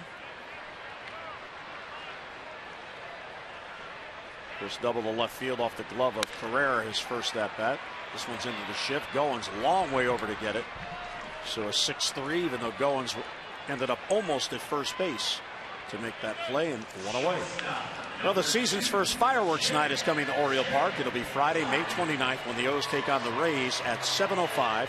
Stay around after the game for a beautiful fireworks display presented by Kaiser Permanente. So gather up your family and friends and come on out and get some Birdland memories. For your tickets, Orioles.com or 888 848 Bird. AJ Hardy worked a walk in the second inning after the Davis walk. Still trying to get that timing down. On a beautiful night in downtown Baltimore. It's breezy all day. The humidity broke. Could it ever? Last night, when I left the ballpark, it was 80 degrees. By the time I got home, it was 72. And strike three called. Tom Hallion finally has a called strike three. And he let you know about it. Yeah, the first strikeout for Sanchez. Perfect pitch outside corner. Um, Hallion takes a nice look. So for Aaron Sanchez, if you and you can't do it, but if you take away that second inning, four hits, two walks, five runs. Sharply hit. Oh, that bounced up and hit Encarnacion, maybe in the chin. A tough, tough hop. He appears to be okay. Yeah, you don't see that very often. I mean, you're taught to you know, try to catch the ball out in front of you, want to kind of center it, and that ball just came up. It got him, I think, more in the arm and the chest. It, and that's going to be a base hit. Bad yeah, bounce yeah, base come hit. up, might have deflected off his face, off his arm, and then maybe part of his chin. Boy, he is fortunate. That ball was hit so hard, if that hits him in the face, that's trouble. Lough on for Caleb. Caleb, two run double and a run scored in the second. He's also grounded out. Snapped an 0 for 7 with that clutch base hit. And another block by Russell Martin. Well, you better be on your toes because I told you about Sanchez averaging seven walks a game. I mean, he's going to throw his curveball. This you know, looks like just a sinker, maybe a changeup that stays down, and then Russell Martin, terrific job of this time staying in front of it. Ball and a strike. And right there for a strike. He's got a, a lot of late life, and what you try to do, and he couldn't do it today, stay away from the big innings, especially with the kind of offense that the Jays have. Outside, good take, two and two. you, you always talk about as a starter, you want to make the guys playing behind you think they have a chance to win, and staying away from big innings certainly helps that, and that's why you work on your command. And you know, he's going to figure out how to throw more strikes. Bounce to short. Goins will flip. There's Travis at second for the force on Lough, and the inning ends. So the Orioles get a hit of Matt Leffler through five. Five nothing O's.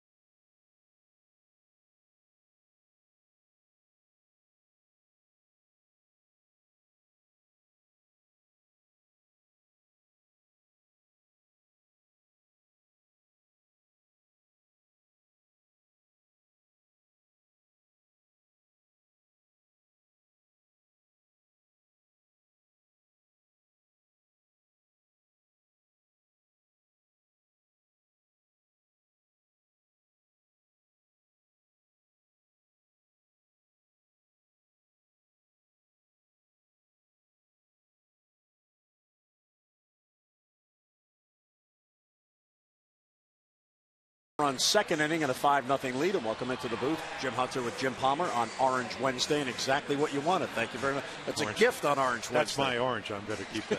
but exactly what the Orioles needed tonight. You get an early lead for a guy who's pitching well, and Miguel has done the rest. Well, the third inning, uh, you know, they get him five runs, and he, he hits uh, Carrera and then base hit, and De Aza does not make a particularly good throw. Runner gets a second and third, and they don't score any runs. So uh, just amazing. And we're seeing what Miguel does so well. I mean, he changes speeds. We've seen curveballs. We've seen an occasional splitter. You know, he's pitched out of the middle of the plate, and that's how you get good hitters out. Softly hit past the mound. J.J. Hardy guns it on the run and gets his man. So Travis has retired one away. Well, Miguel, of course, emerging as one of the elite pitchers on the Orioles staff, and a pretty big difference coming into this start from last year. Well, it is, and then he would go on to really be fabulous in the second half of the year. So, you know, strikes down, strikeouts down a little bit. The home runs down this year, based on balls, as it is with most of the starters, actually a little bit up.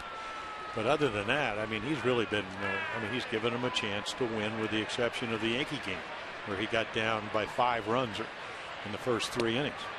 But I, I, right here, I mean, perfect example. Uh, Travis gets a base hit on a fastball away, and what does he just do to get him out? He jams him, breaks his back.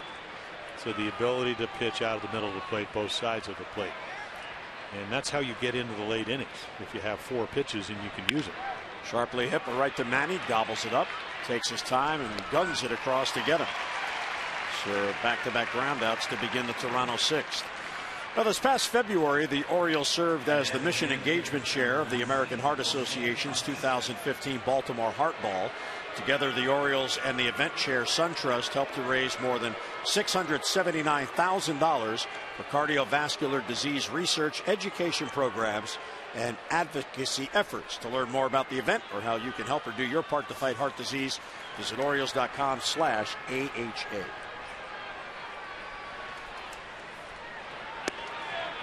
Luis Bautista takes ball one.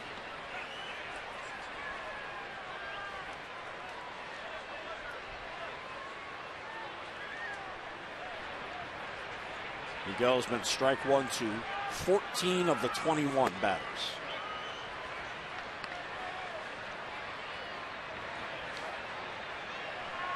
The Blue Jays came into this game leading Major League Baseball in runs scored with 184.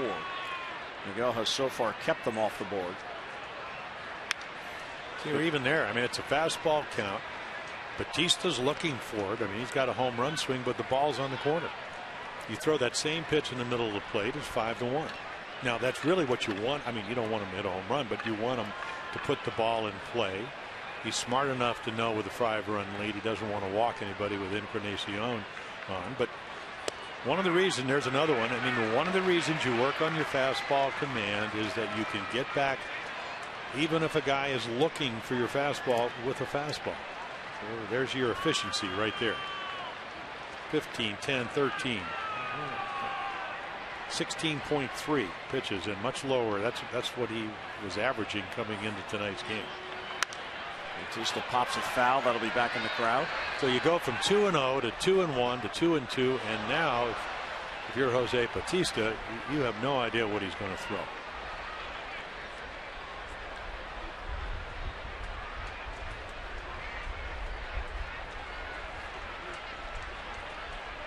Two outs, the base is empty. And they take the shift away. They, they kind of shift. They play him the pull, and now they play him up the middle. But and he got him. Oh, what a job by Miguel Gonzalez in that inning. As Bautista got ahead and he strikes him out. 11 in a row retired by the Oriole right hander.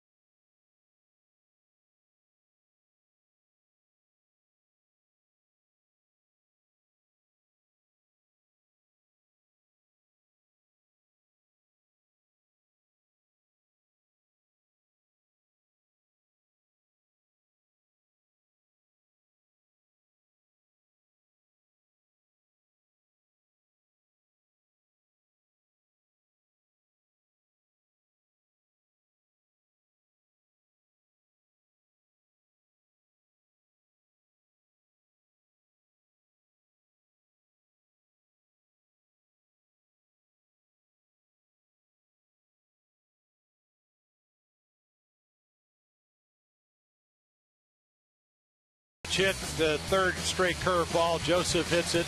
Machado, De Aza. Orioles would get four runs at five hits last night. Bad defense tonight. Good defense. Gonzalez gets out of the third inning with runners at second and third. They turn the double play. So all is well, at least into the middle of the uh, game. And then Gonzalez has been just magnificent. Those are your Geico game highlights. 15 minutes could save you 15% or more on car insurance. Visit geico.com for a free rate quote. Well, Sanchez falls behind Rey Navarro 1 0. Machado De Aza will follow.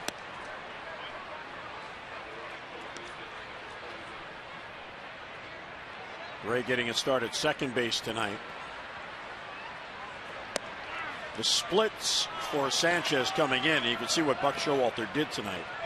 Lefties were batting 290, righties 130.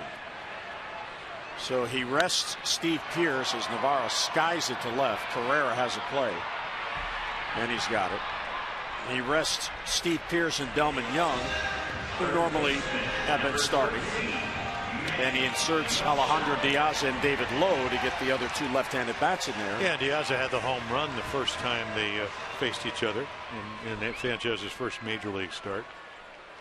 So it all kinds of, and you keep you get guys sharp, bring them up, get them their at bats. Manny double drove in a run and scored in the second. Pops up the first pitch. Encarnacion passes Wayne Kirby, and he's got it. And meanwhile, what uh, what Sanchez has done to save the bullpen. I mean, they, they don't have an off day tomorrow. Liam Hendriks now getting loose. The yeah, Blue Jays travel tonight to Houston, and they have a four-game series, so they don't have a day off. So he's uh, what at 90 pitches. That's what you like to see from your young pitchers. You, you, you, have a bad inning, and he certainly did in the second inning. Orioles had some good at bats, and it's like it didn't happen. De Aza fouls it straight down. Well, if you average out 15 per inning, 90 gets you through six. So he, recovered. Yeah, he, he yeah. had a 31 pitch second inning. Yeah, he came in at uh, what 17.2 which is for a guy that really was averaging seven walks per innings. He must have done it very efficiently, walking people. Four pitches. I could do that for the best of them. He walked Davis on four pitches. Yeah. I believe Hardy was on five. The only two walks he's allowed.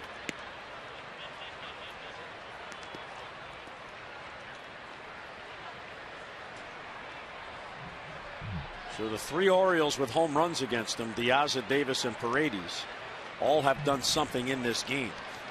De Aza has an RBI double and a run scored. Paredes an infield hit and a run scored. Well, it's kind of interesting if you go back to that second inning. Uh, you, you get back-to-back -back walks, the only two walks, and Buck Showalter with David Lough, he bunts. You don't usually do that in, in the second inning in the American League.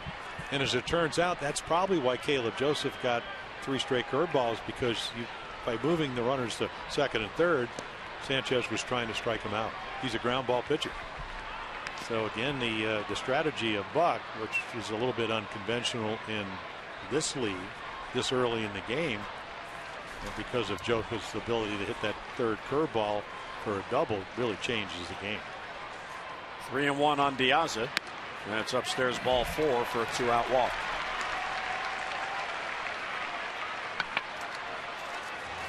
Well, for every Orioles walk, CareFirst Blue Cross Blue Shield contributes $50 to support the March of Dimes. The O's have now drawn 79 walks for a total of $3,950. CareFirst Blue Cross Blue Shield encourages each of us to take that first step towards a healthier and a more active lifestyle. And that gets Paredes up again. Here's De Aza gets on base for a fourth consecutive time, showing Buck Showalter I want more playing time. Yeah, the sacrifice bunt by David Lough to further Jim's point is only the fourth all year for the Orioles. Well, I'm not saying it's not something you know that that you use it at appropriate times, and it turned out it wasn't inappropriate because Lough, number one, he got the bunt down, and it was a good one. Martin came out and didn't have a play anywhere, but you just don't normally do that. But it really it, it kind of changed the strategy because you had a young pitcher who, and maybe Russell Martin, of course, the veteran catcher, saying, "Hey, we, because we have runners at second and third, we're, we need a strikeout." The three sacks coming in was tied for the fewest in the American League with the White Sox, a play for the big inning team, and the Astros, a play for the big inning team. Where the Astros were hitting home runs early, why give up an out? And there's a four pitch walk, so back to back walks after two men down. Yeah, John Gibb, I mean, uh, Hendriks certainly healthy. You know, John was talking about the fact that last time Sanchez pitched seven innings, actually he let him go out to pitch the eighth.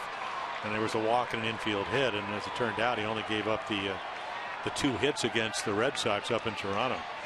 So Hendriks will come on. Sanchez leaves with two on and two out in the sixth.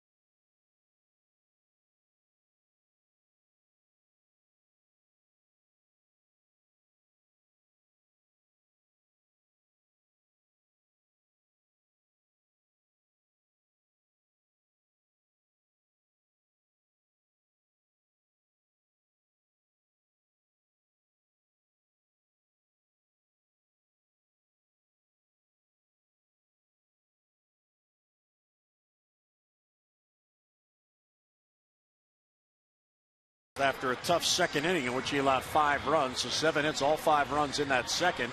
Four walks. He struck out one, 99 pitches, and he exits after back-to-back walks. And now our Jiffy Lube uh, pitching change. It's time for a little relief for your car too. Visit Jiffy Lube for regular oil changes and help prevent damage and wear to your engine. Jiffy Lube. Drive in today. Well, Liam Hendriks out of Australia. He comes in and we saw him early in the year. Actually threw the ball very well lately on 14 strikeouts, last 14 innings of relief, but last five games, uh, a run per game or five runs over five games. And of course, he started the season when we saw him uh, with six consecutive scoreless uh, schemes. So yet to give up a home run. He was an Oriole for what, about two and a half months? Yeah. Uh, the Orioles picked him up on waivers, and then Toronto. Uh, the Orioles did that, what, in December of 2013, and then the uh, I remember him in camp. Yeah, but he never pitched in the big leagues, and then he was claimed by towards the end of spring training by the Blue Jays. So Adam comes up two on and two out, trying to get Miguel Gonzalez some insurance runs here. Yeah, Adam needs a, a, a hit. Course, Hendriks has other thoughts. He is one for 10 in the series with one RBI. And Adam, Adam goes, eh, would have rather had that called a ball, but Tom Hallion gave him the ball on the corner or just off it. Had a hard breaking ball. Whoa, Whoa got him. That hit him. So Adam is hit by a pitch for the well, fourth yeah, time this year. Yeah, down and away, and then they try to come in. And most guys don't command the ball. I mean, it's just a two-seamer, keeps coming in, and it gets both uh, Adam Jones and Russell Martin on the rebound. So that'll load him up for Chris Davis. Now that was certainly not intentional, no. but what you love about Adam is whenever he's hit by a pitch, he just goes to first. Ne never looks at the pitcher, never says anything. And here's Davis with the bases loaded.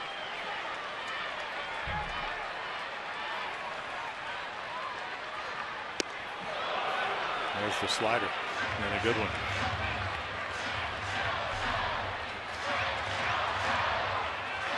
Four career grand slams.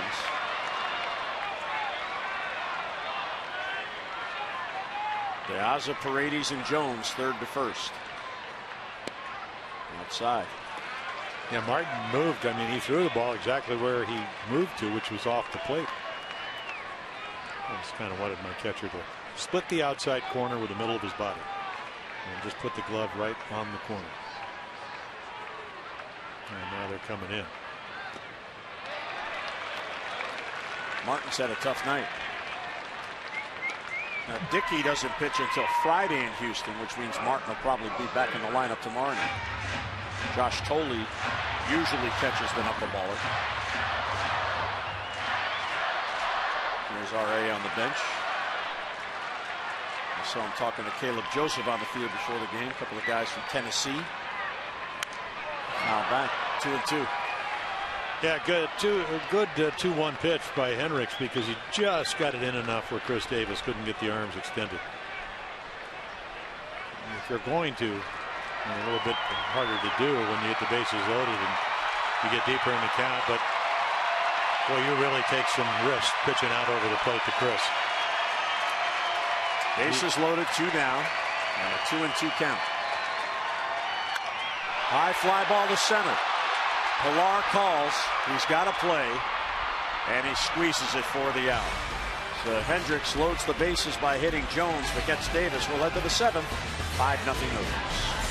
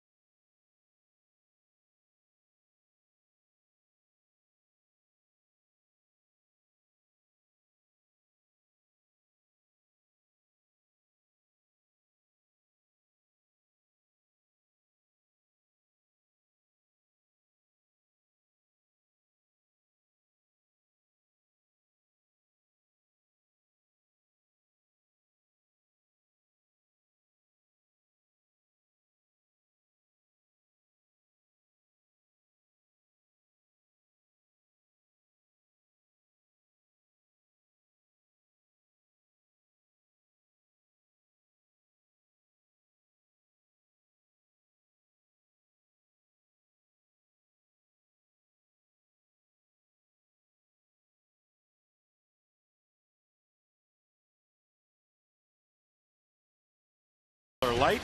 And how about Rey Navarro as he lobs a base hit from Russell Martin, leaping drive and down to the ground and holds on to. Yeah, not a lot of balls hit hard. De Aza made a nice play down the right field corner. Uh, obviously, Rey Navarro, high slider that Martin uh, looks like he's going to get a base hit. And that didn't happen. Timed it perfectly. Manny uh, with a, a double play that he turned. So again, this is a team that made three errors last night. Doesn't look like the same ball club. Maybe it was a little wake-up call because it was not a well-played game. Encarnacion out in front of one, deep but foul. I thought Buck Showalter's uh, comment he said, you know, I've had the privilege of seeing a lot of real good defensive games over the last couple of years. Last night was not one of them. Mm -hmm. No excuses. He preaches it, the players follow it.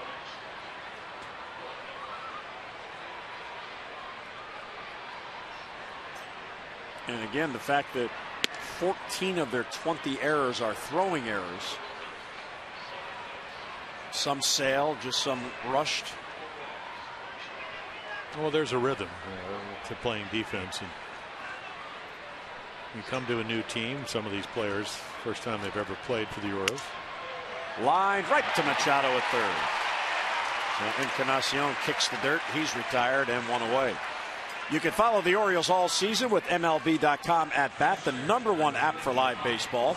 At bat is up to the moment at any moment with in game highlights, live look ins, replay reviews, radio broadcast, StatCast, and more. Get MLB.com at bat for your smartphone or tablet. 12 in a row retired by Gonzalez. Yeah, Miguel set the tone. Uh, uh, base on balls to Donaldson in the first, Bautista line drive. Another Diaz will get back on it. Yeah, would you think would be a routine fly ball for the second out here in the seventh. But so based on balls, Bautista goes the other way, and then Encarnacion pops up. And hit two home runs last night. Same pitches, and then he got Martin to pop up. And then uh, when the Orioles were able to come up an inning later, they score five. So a couple of innings, the first and the third, Toronto looked like they might get something on the board and Miguel Gonzalez pitched out of trouble. And the heads up play by Manny Machado at third base, getting Carrera on the chopper. And a strike taken by Colabello. Well, that's like the 74th pitch here in the seventh inning. That's how efficient he's been. Four of his innings, he's thrown exactly 10 pitches. With 73 pitches. Colabello's trying to upset his rhythm.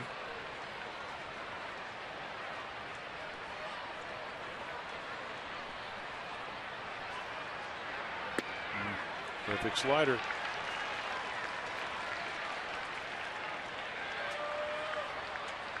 Miguel tonight his 76th career start and 82nd major league appearance. All of his starts against AL East opponents on the early season.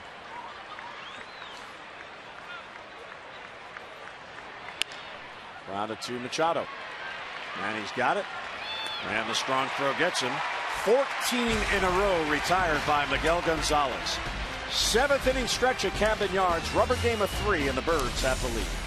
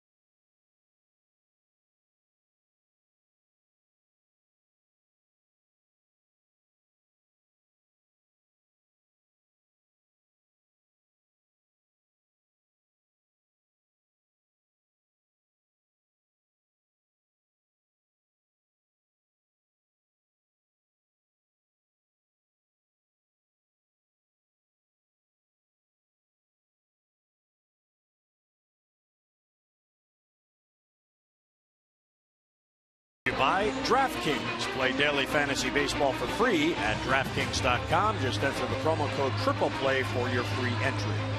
And by Ocean City, Maryland. Put your vacation days to good use in Ocean City, Maryland. Book now at OCOcean.com.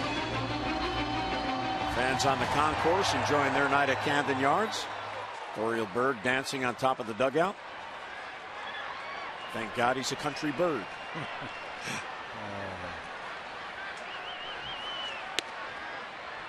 And a strike taken by J.J. Hardy. So Miguel is through seven innings. He's retired 14 in a row. The Orioles have had one start this year so far of eight innings, and that was Wei Yin Chen at Boston in a no decision. Two runs over eight innings for Chen in that game. Hardy skied the left. He got under it. Ezequiel Carrera is there. And one down.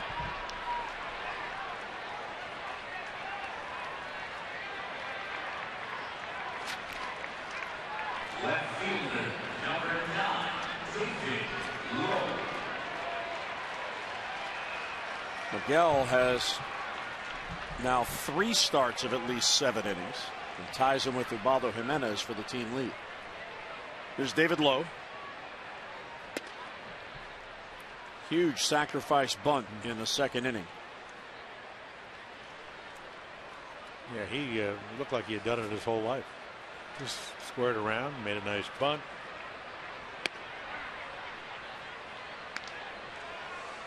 Nice to see people be able to do that.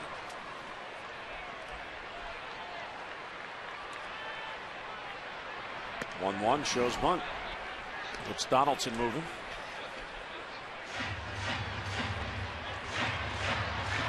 The brain trust leaning on the rail. Brain trust is saying, well, I'd rather have him do it before he gets to one strike, but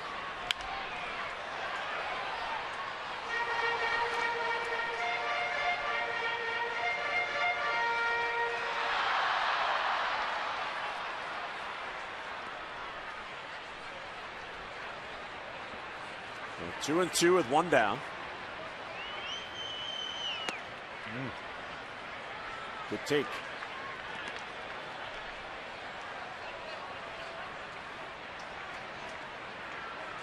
Hendriks got the final out of the sixth, now on here in the seventh. He may be asked to pitch the eighth as well. David Lough fouls it back. The Orioles have not yet homered in this game, and that is news. They've homered in 23 of the first 31 games. Yeah, last night was what their first home game that they did not homer, mm -hmm. homer in. And he takes a walk with one down. Yeah, Hendriks has a, uh, I mean, a good arm, and he's, you know he's one of those guys at the minor league level. He's always pitched well. 54 and 30 with an ERA of under three runs a game, 289. And we saw him early on with the with the Twins. He would come in and get a start every once in a while. Back back in 2012, he started 16 games. And then uh, one of the reasons Danny Valencia is a Blue Jay is because the Blue Jays traded him to Kansas City for Danny Valencia, and then this offseason got him back because they like his stuff. Outside the Caleb Joseph 1 0. Caleb two run double in the five run second inning. He also scored a run. He now has six RBIs in May.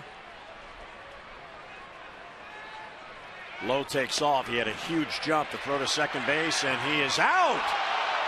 What a throw by Russell Martin. It looked like David Lough was going to beat the throw, and the quick tag by Travis to get him. So now what? 13 out of 26. That's 50 percent. And again, if the throw, watch Travis just drop the glove. And just probably what about two, three inches. Perfect throw. David Lough just a smidgen from stealing the base. So that erases the one out walk. Two men down now. Well, the real That's the 12th he's caught, Martin. Most in the league.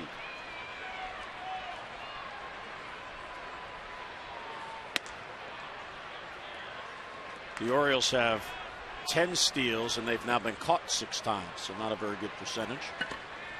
Well, not compared to the Blue Jays, 21 out of 23. It's a fastball by him.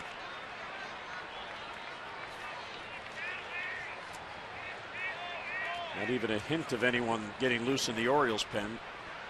Gonzalez 75 pitches through seven innings. Hard hit ball to short. Ooh, nice play by Goins. That ball jumped up on him. And he gets the first to get Joseph for the final out. We're through seven at Camden Yards. Jays come to bat in the eighth, down by five.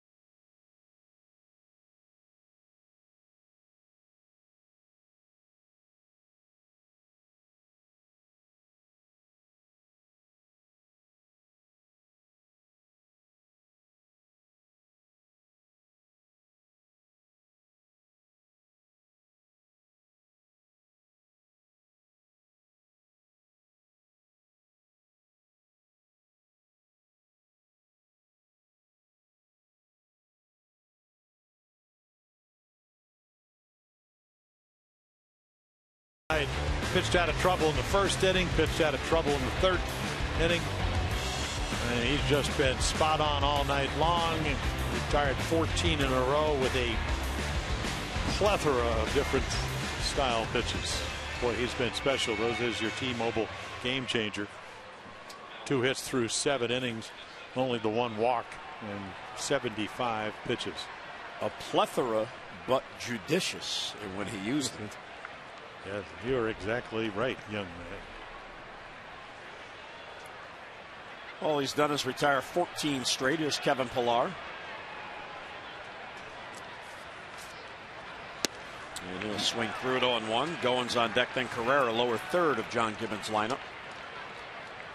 Well, one pitch over 91. One fastball at 92. In and out, change speeds. Probably the fewest amount of splitters that I've seen because he hasn't really needed it.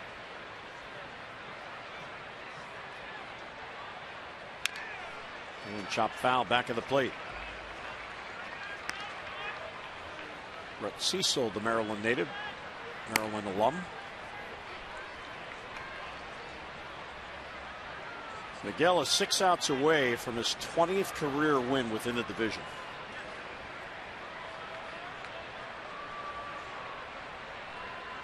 Head 0 2. Up and away. And it's and it's tough to pitch in the American League East. You know, here's this, this is not exactly a pitcher's park; it's a hitter's park.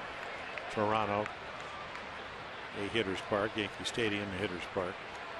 Only Tampa. Backs him off the plate. Get the feet moving. Well, that was the whole body.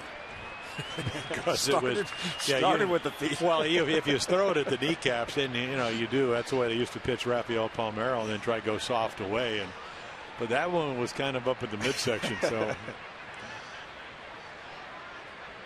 and then he goes down and away.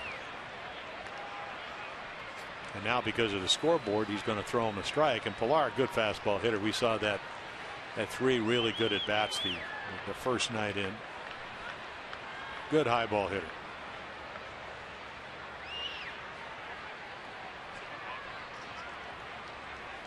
And the 3 2 is up and away, ball four. So there's a leadoff walk, and that's just the second walk allowed by Miguel. Snaps the streak of 14 in a row. This copyrighted telecast presented by authority of the Orioles. It may not be reproduced or retransmitted in any form, and the accounts and descriptions of this game may not be disseminated without the express written consent of the Orioles. he threw seven pitches to get through the seventh inning, three up, three down. That was a six pitch at bat to Pillar. Yeah, he just pulled that off the outside corner. And usually, you know, when you throw over your front side, there's a lane in, in and out. And he does that so well. He's got a little bit quick. Ryan Goins takes a strike. Yeah, the key to Miguel's whole windup is really his front shoulder, as it is with most pitchers. When he gets it closed, he can go anywhere he wants. He can go a little bit in, a little bit out. But when he doesn't get it closed, everything out of his hand, you know, fastball slider is a ball. So it's kind of like a wasted pitch. Just close the front side, just like that. That's a bloop, and that's trouble. The Piazza was deep, and that's going to fall in for a base hit. So after the walk, a single by Goins, and the Jays have the first two on in the eighth, down by five. Yeah, a little slider that he fights off, and three hits last night.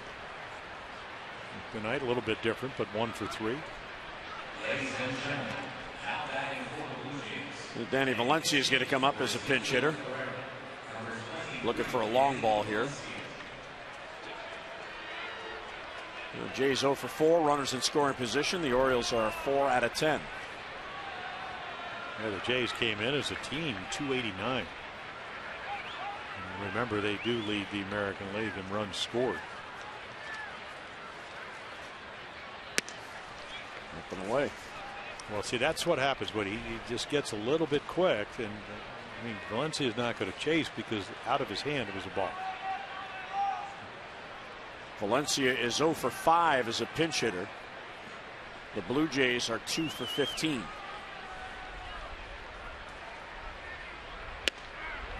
And a strike. Yeah, I thought Buck Showalter did a great job of explaining uh, Ubaldo Jimenez's performance. He said on Monday night, he said he threw pitches that started as a ball, as Darren O'Day is going to get loose, and ended up a strike. And he threw enough pitches that started a strike and ended up as balls. And when you get ahead, which Ubaldo did, that's what you can do. There's another slider, perfect. They know Danny Valencia because he played for the Orioles. He, he's a terrific fastball hitter. Wears lefties out. But as most guys that don't see a lot of right-handed pitchers, the low and away slider gives them problems. And Miguel with number one would like to get him out and maybe get a double play.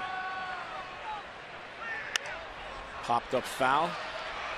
Caleb coming over near the bench, runs out of room, and it bounces on top of the dugout. And because of the count, one and two, you can still pitch aggressively where you can try to get Danny Valencia to chase.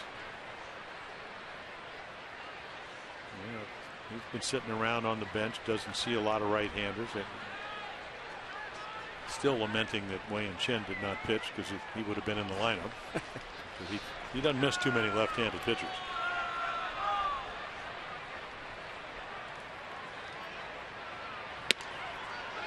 And it's interesting too because every start that Chen has made has been within the division, but he keeps missing Toronto. And this is the third three game series against the Jays. They're two and two on him.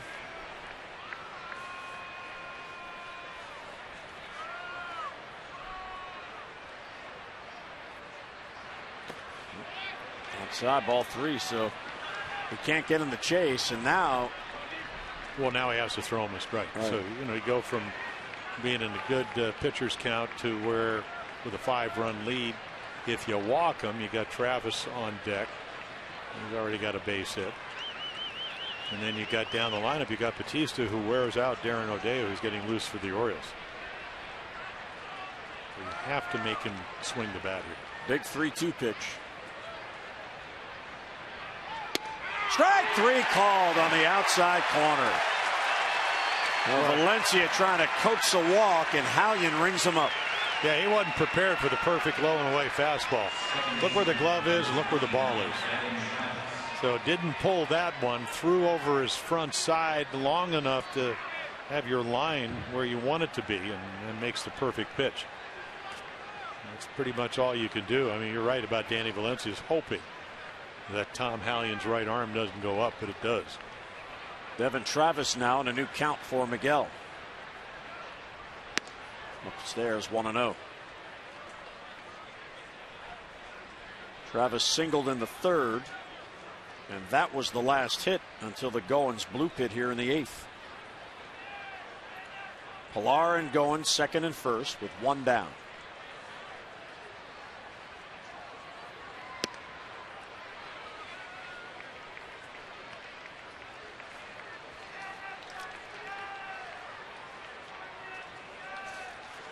Miguel, who had outstanding command, retiring 14 in a row, it's eluded him a bit here yeah. Hmm. in the eighth.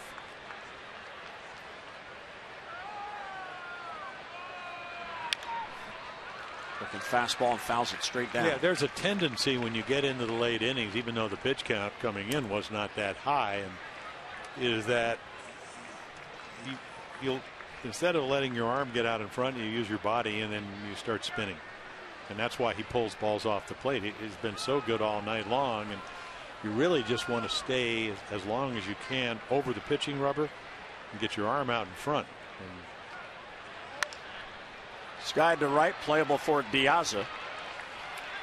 And he's got it. He'll fire to second base, the big second out of the inning.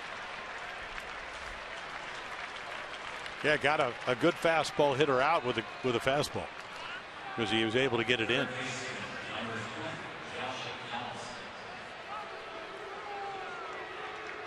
So from 2 0, he comes back to get Travis. Josh Donaldson coming up.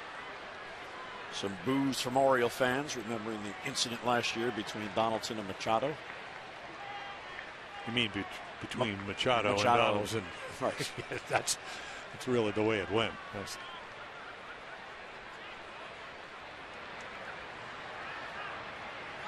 Pillar tagged and went to third, so runners on the corners with two down. Donaldson hitless on the night. Just outside 1 0.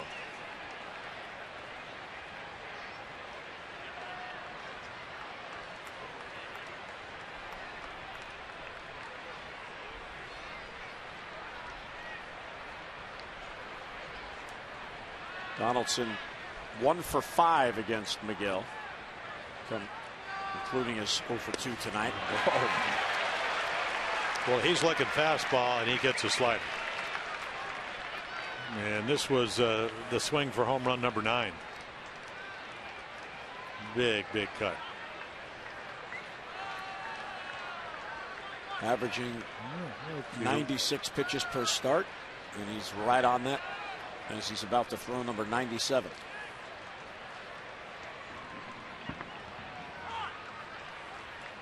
Well, how about if you're Buck Showalter? I mean, you know, Buck is sitting there in the dugout, Oriole dugout, saying, I'm sure hope he gets him out because Bautista's on deck and he's five for 15 with four home runs." So the decision, Buck going to just make Meek look good, just get Donaldson out, which is not easy because he is hitting 319. There's another good slider. He's a real good high ball hitter. We saw that last night. Orioles. Jack Britton learned that when he hit that walk-off home run right after the All-Star break last year up in Oakland. So again, remember he's thrown what two, three, four splitters. That's his strikeout pitch. And See, See right Caleb there. keep it down. yeah, And the 1 2 to Josh Donaldson. Another slider. Yeah.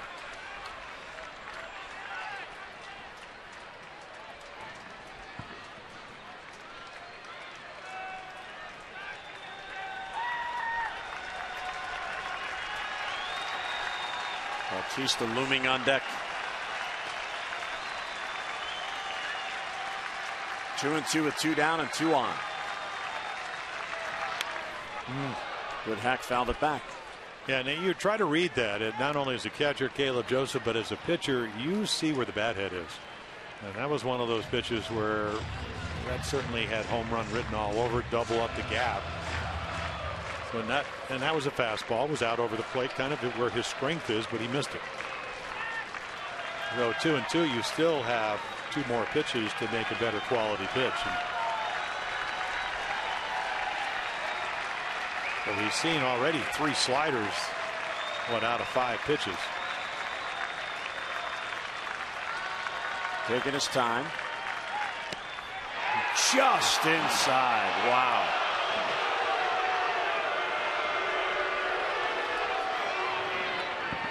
Uh, just late life, and it just runs in off the corner. Little two seam fastball trying to hit the inside corner. And talk about a nice take. 25 pitch inning here in the eighth. Goins at first will be off with the pitch. Pillar's not forced, so he'll have to stay at third. Three and two with two down. Donaldson had a lot of guts taking that pitch. That might have hit the corner before it sailed into the glove of Caleb. You don't know how the umpire is going to call that. Well, Hallion, as we mentioned, is he's got a pretty consistent strike zone tonight. A little bit smaller than his the other two umpires in the game one and two. And hitters, that, and, and even Miguel knows that. He's established his strike zone by the eighth inning. And the 3 2 is low, and it gets away from Caleb, and here comes Pillar to score. So there's a walk. And a pass ball. And here comes Buck. So Miguel can't get the final out here in the eighth. Loses the shutout. And he will head out after seven and two thirds outstanding innings. So Miguel Gonzalez will sit and wait, looking for his fourth win.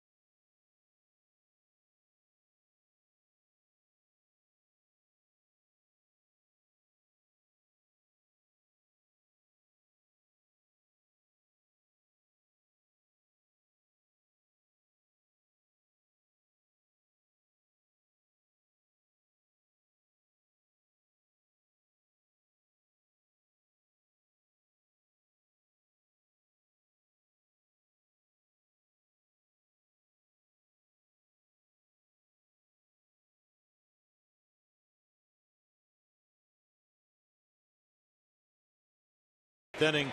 You can see tonight uh, more fastballs than normal. Didn't throw many split-fingered fastballs.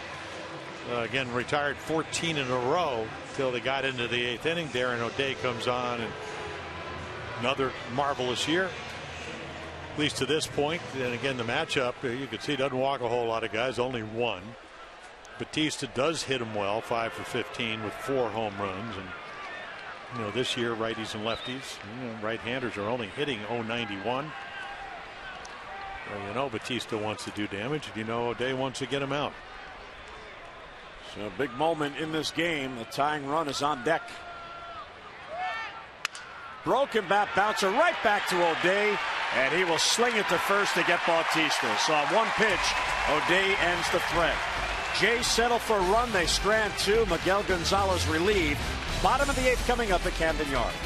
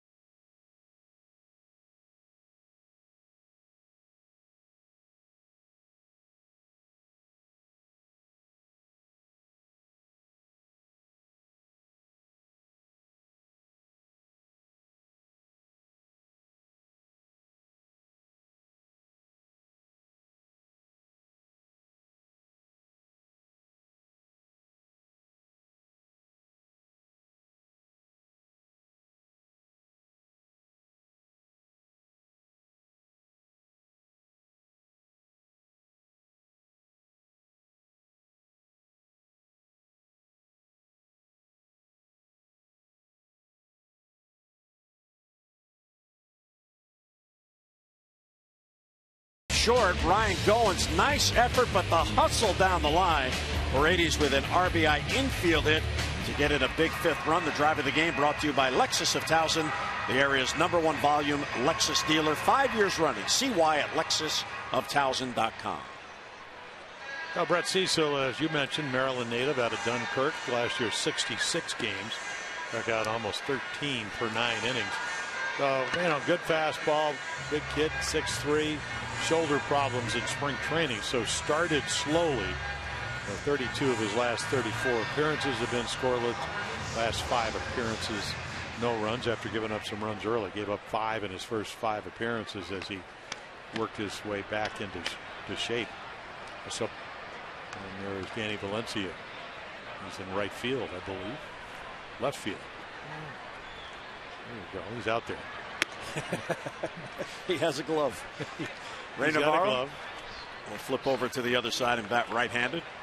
Machado and Diaz will follow.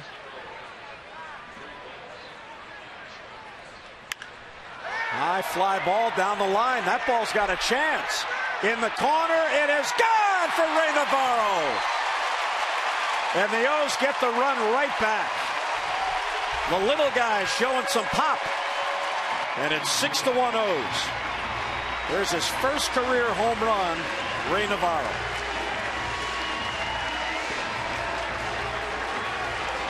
Did he give him a little Encarnacion with the elbow up? I don't know what that was, but uh, that's a good feeling.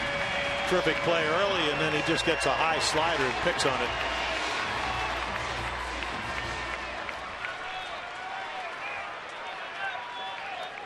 What a moment for yeah. Rey Navarro.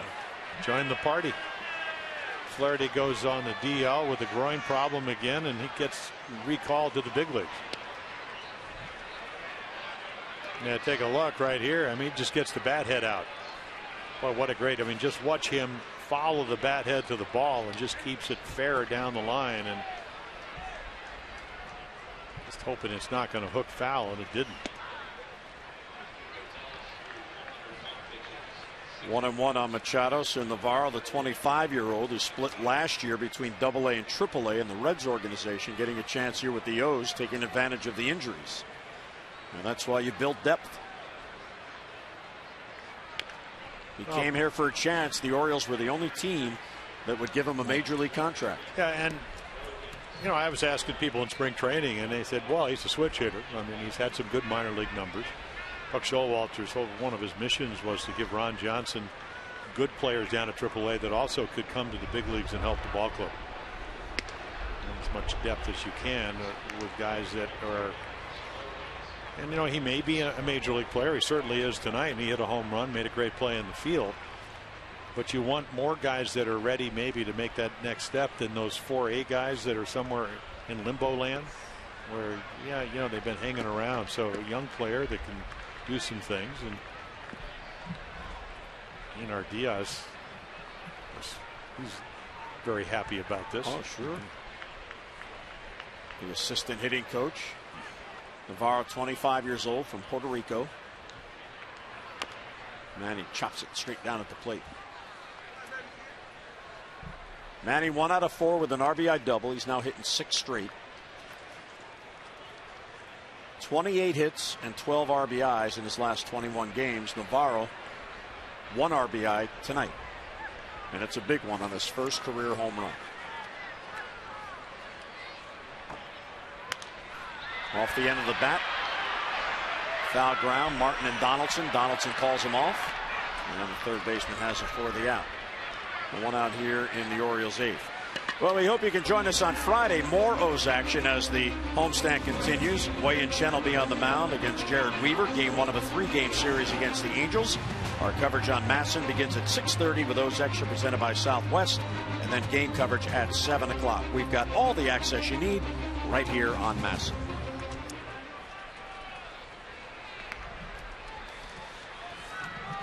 Navarro was sent out to the minor leagues, but then brought back. Ryan Flaherty on the DL. You know, Jim, you were talking about the depth, and prior to the game, when Buck was asked about calling Mike Wright up for the bullpen with Jason Garcia going on the DL, he said the conversation he had with Ron Johnson and Mike Griffin, they actually had several choices mm. that they could have gone. And with Mike Wright's start coming up last night and him being scratched, he ended up being the call. But that, that's a real nice problem where you, you not only have depth, you have quality depth with several pitchers pitching well. There's Mike in the bullpen with Tommy Hunter. Brian Matusz on the other side. So Navarro was here. Flaherty came back. He went down. Then Flaherty goes down and he's back.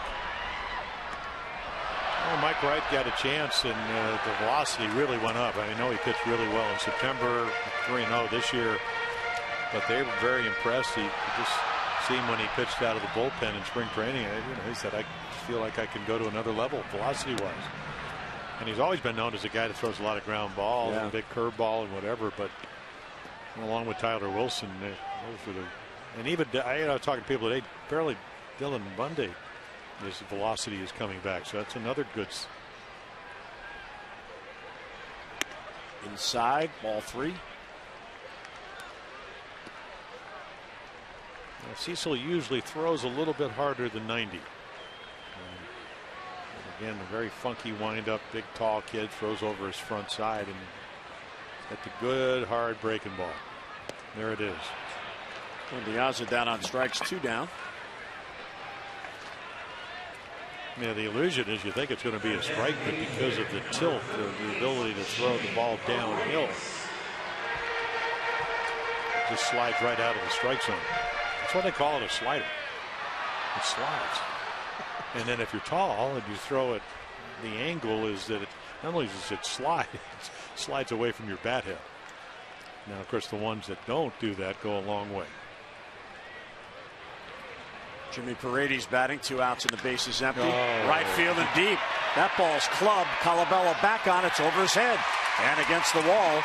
And there goes Paredes with another base hit. Well, you know, you, had a home run earlier in the season here, and I mean, you could just hear, and you hope he didn't hurt his hamstring, hear the sound of the ball off the bat. Now, it doesn't go out of here, but he just centers it. Remember when Alfonso Soriano came up, or they used to say Babe, Babe Ruth. He would always talk about you could always tell that Babe was taking batting practice because of the way the ball sounded. See him stretching his leg out there, the right leg, as yeah. he takes his lead. Richie Bancells keeping an eye on him from the bench as Adam Jones comes up. Outside. Well, you talked a little cooler weather. And, yeah. Uh,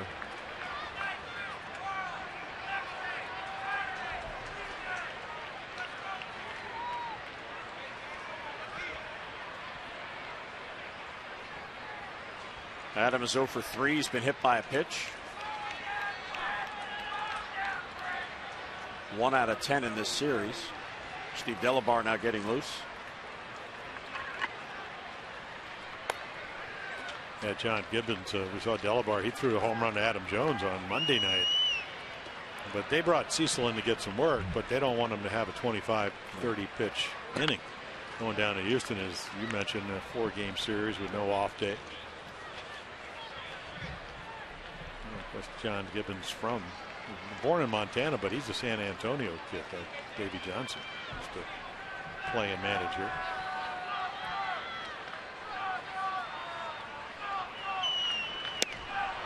So he can expect to have some family make the drive. Most likely. You ever been to San Antonio? No. The, the Riverwalk? No. Yeah, they actually have restaurants and hotels and right along the river downtown. I haven't spanned the globe as you have. Okay, I'm not sure San Antonio is spanning the globe, but it'll work. Adam Jones to center for Pillar. And he's got it for the out. Sounded good, but off the end of the bat. Now, Rey Navarro leading off in the eighth goes deep. His first career home run for a 6 to 1 Orioles lead.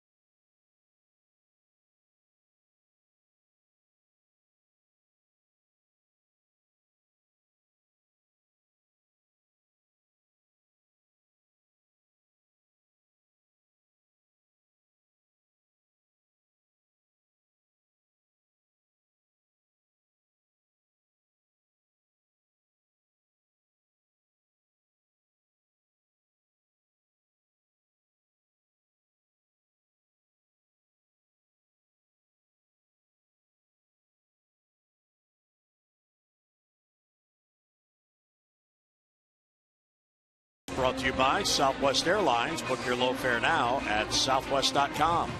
And by PNC for the achiever in you. Cool night here at Camden Yards. Fans out there on Utah Street. Rey Navarro with his first career home run. He's played outstanding defense. The Orioles with a within three outs of a nice bounce back game here. Well, the Blue Jays uh, what three home runs, ten runs, They've done it seven times. And that's uh, what four more times than any other American League team. They've done it four times against the Orioles. Right. Only three hits today. And then O'Day comes in and gets Bautista out on one pitch. And Loda Encarnacion. Now, if O'Day finished this this inning, he'd get a save because the tying run was on deck when he came in. But he would have to complete the inning, and at the moment, nothing doing behind him. Maybe he'll do that. That's his intention. Certainly capable of it. Breaking ball in there for a strike. Encarnacion is 0 for 3. Lined out to Machado his last at bat.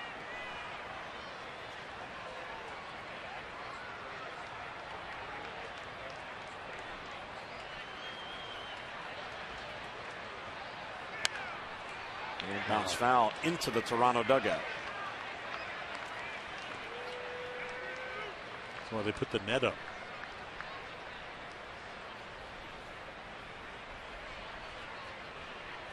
Yeah, look at Correa. He already got hit by a pitch. He got hit the last night. and He almost got hit in the dugout.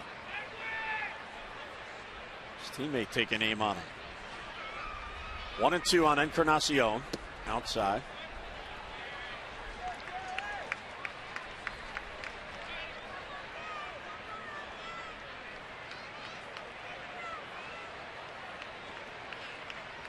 Encarnacion 48 home runs in May, the most in any month in his career. A little bit low, looked like a good pitch. Well, 16 of them last year. He also has a very good eye. Well, he doesn't strike out a lot, and he doesn't walk as much as Bautista, but he'll take a walk. And that's what they're looking for. They're, they're five runs down. Yeah, he'd like to hit a home run or hit. But if O'Day doesn't throw him strikes, well, I take that back because he did swing at a ball. But that's that's the Darren O'Day effect because of the uh, you know the the underarm, sidearm. You think the breaking ball is going to stay up. You think it's going to maybe move away a little bit, and then it doesn't. Just stays down. Terrific 3-2 pitch. Just the fact you're willing to throw this pitch with a five run lead, and then you throw it close enough to get him to entice him to swing at it. Here's Russell Martin, who is 0 for 3. Line drive, base hit, left center field. David Lough over to cut it off. And the inning continues as Martin has a one out single. Right fielder, number 15, Chris Colabello. Martin now has 18 hits in his last 10 games. Well, he can hit. Go back to the great play that Navarro made, or he'd have two hits tonight.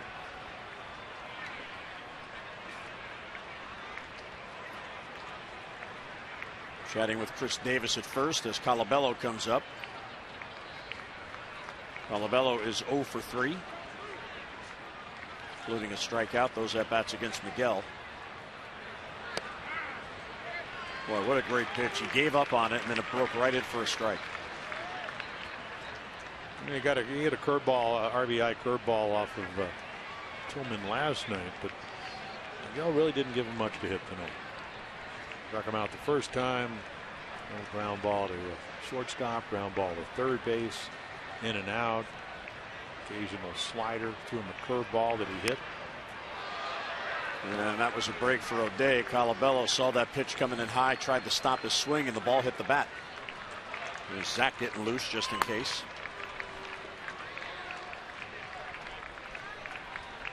Not a bad idea anyway with an off day. Sure. Throwing.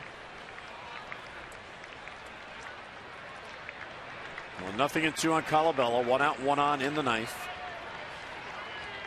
He's trying to get this win to get this series. Heading into tomorrow's day off. And he got him. Well, that's how you pitch with two strikes. That's what Buck Showalter was talking about. It, it starts as a strike and then ends up a ball. And when you get ahead in the count, you can do this. He thinks it's going to stay over the plate, and it doesn't. Colabello, big guy, and still couldn't reach it. There's Kevin Pillar, who walked and scored the Jays' lone run in the eighth inning, came in on a pass ball. Where the run to Miguel is unearned. Right there for a strike. Yeah, even if he would think, because Manny Machado is playing deep at third to try to bunt his way on, how do you bunt a guy if you never, you can't practice it? Not like you can get a under under armor, side armor, sidewinder to throw you batting practice so you could bunt. That one off the plate, one and one. 24,654 tonight. Nice crowd on this Wednesday night, the largest crowd of the three game series. Some have left with the Orioles' big lead, and it's cool. The rest are very vocal. Ball and a strike on Pillar. Rounded foul. That's the old emergency hack. Is that a strike? Is that a strike? No, actually it wasn't, but he's trying to justify why he swung. Well, no, you always. I, that really annoys Buck Showalter when umpires will, will answer because he doesn't. That's not their job. Right. But anyway, hitters want to know that. Did I just chase the ball out of his zone? Because now the count goes to one and two, and he throws the same pitch. Wants to know whether he needs to swing at it or not. Weekly hit towards third. Manny will charge and throw on the run in time to get Pillar and the Orioles get the rubber game as they bounce back from last night's loss to win it here tonight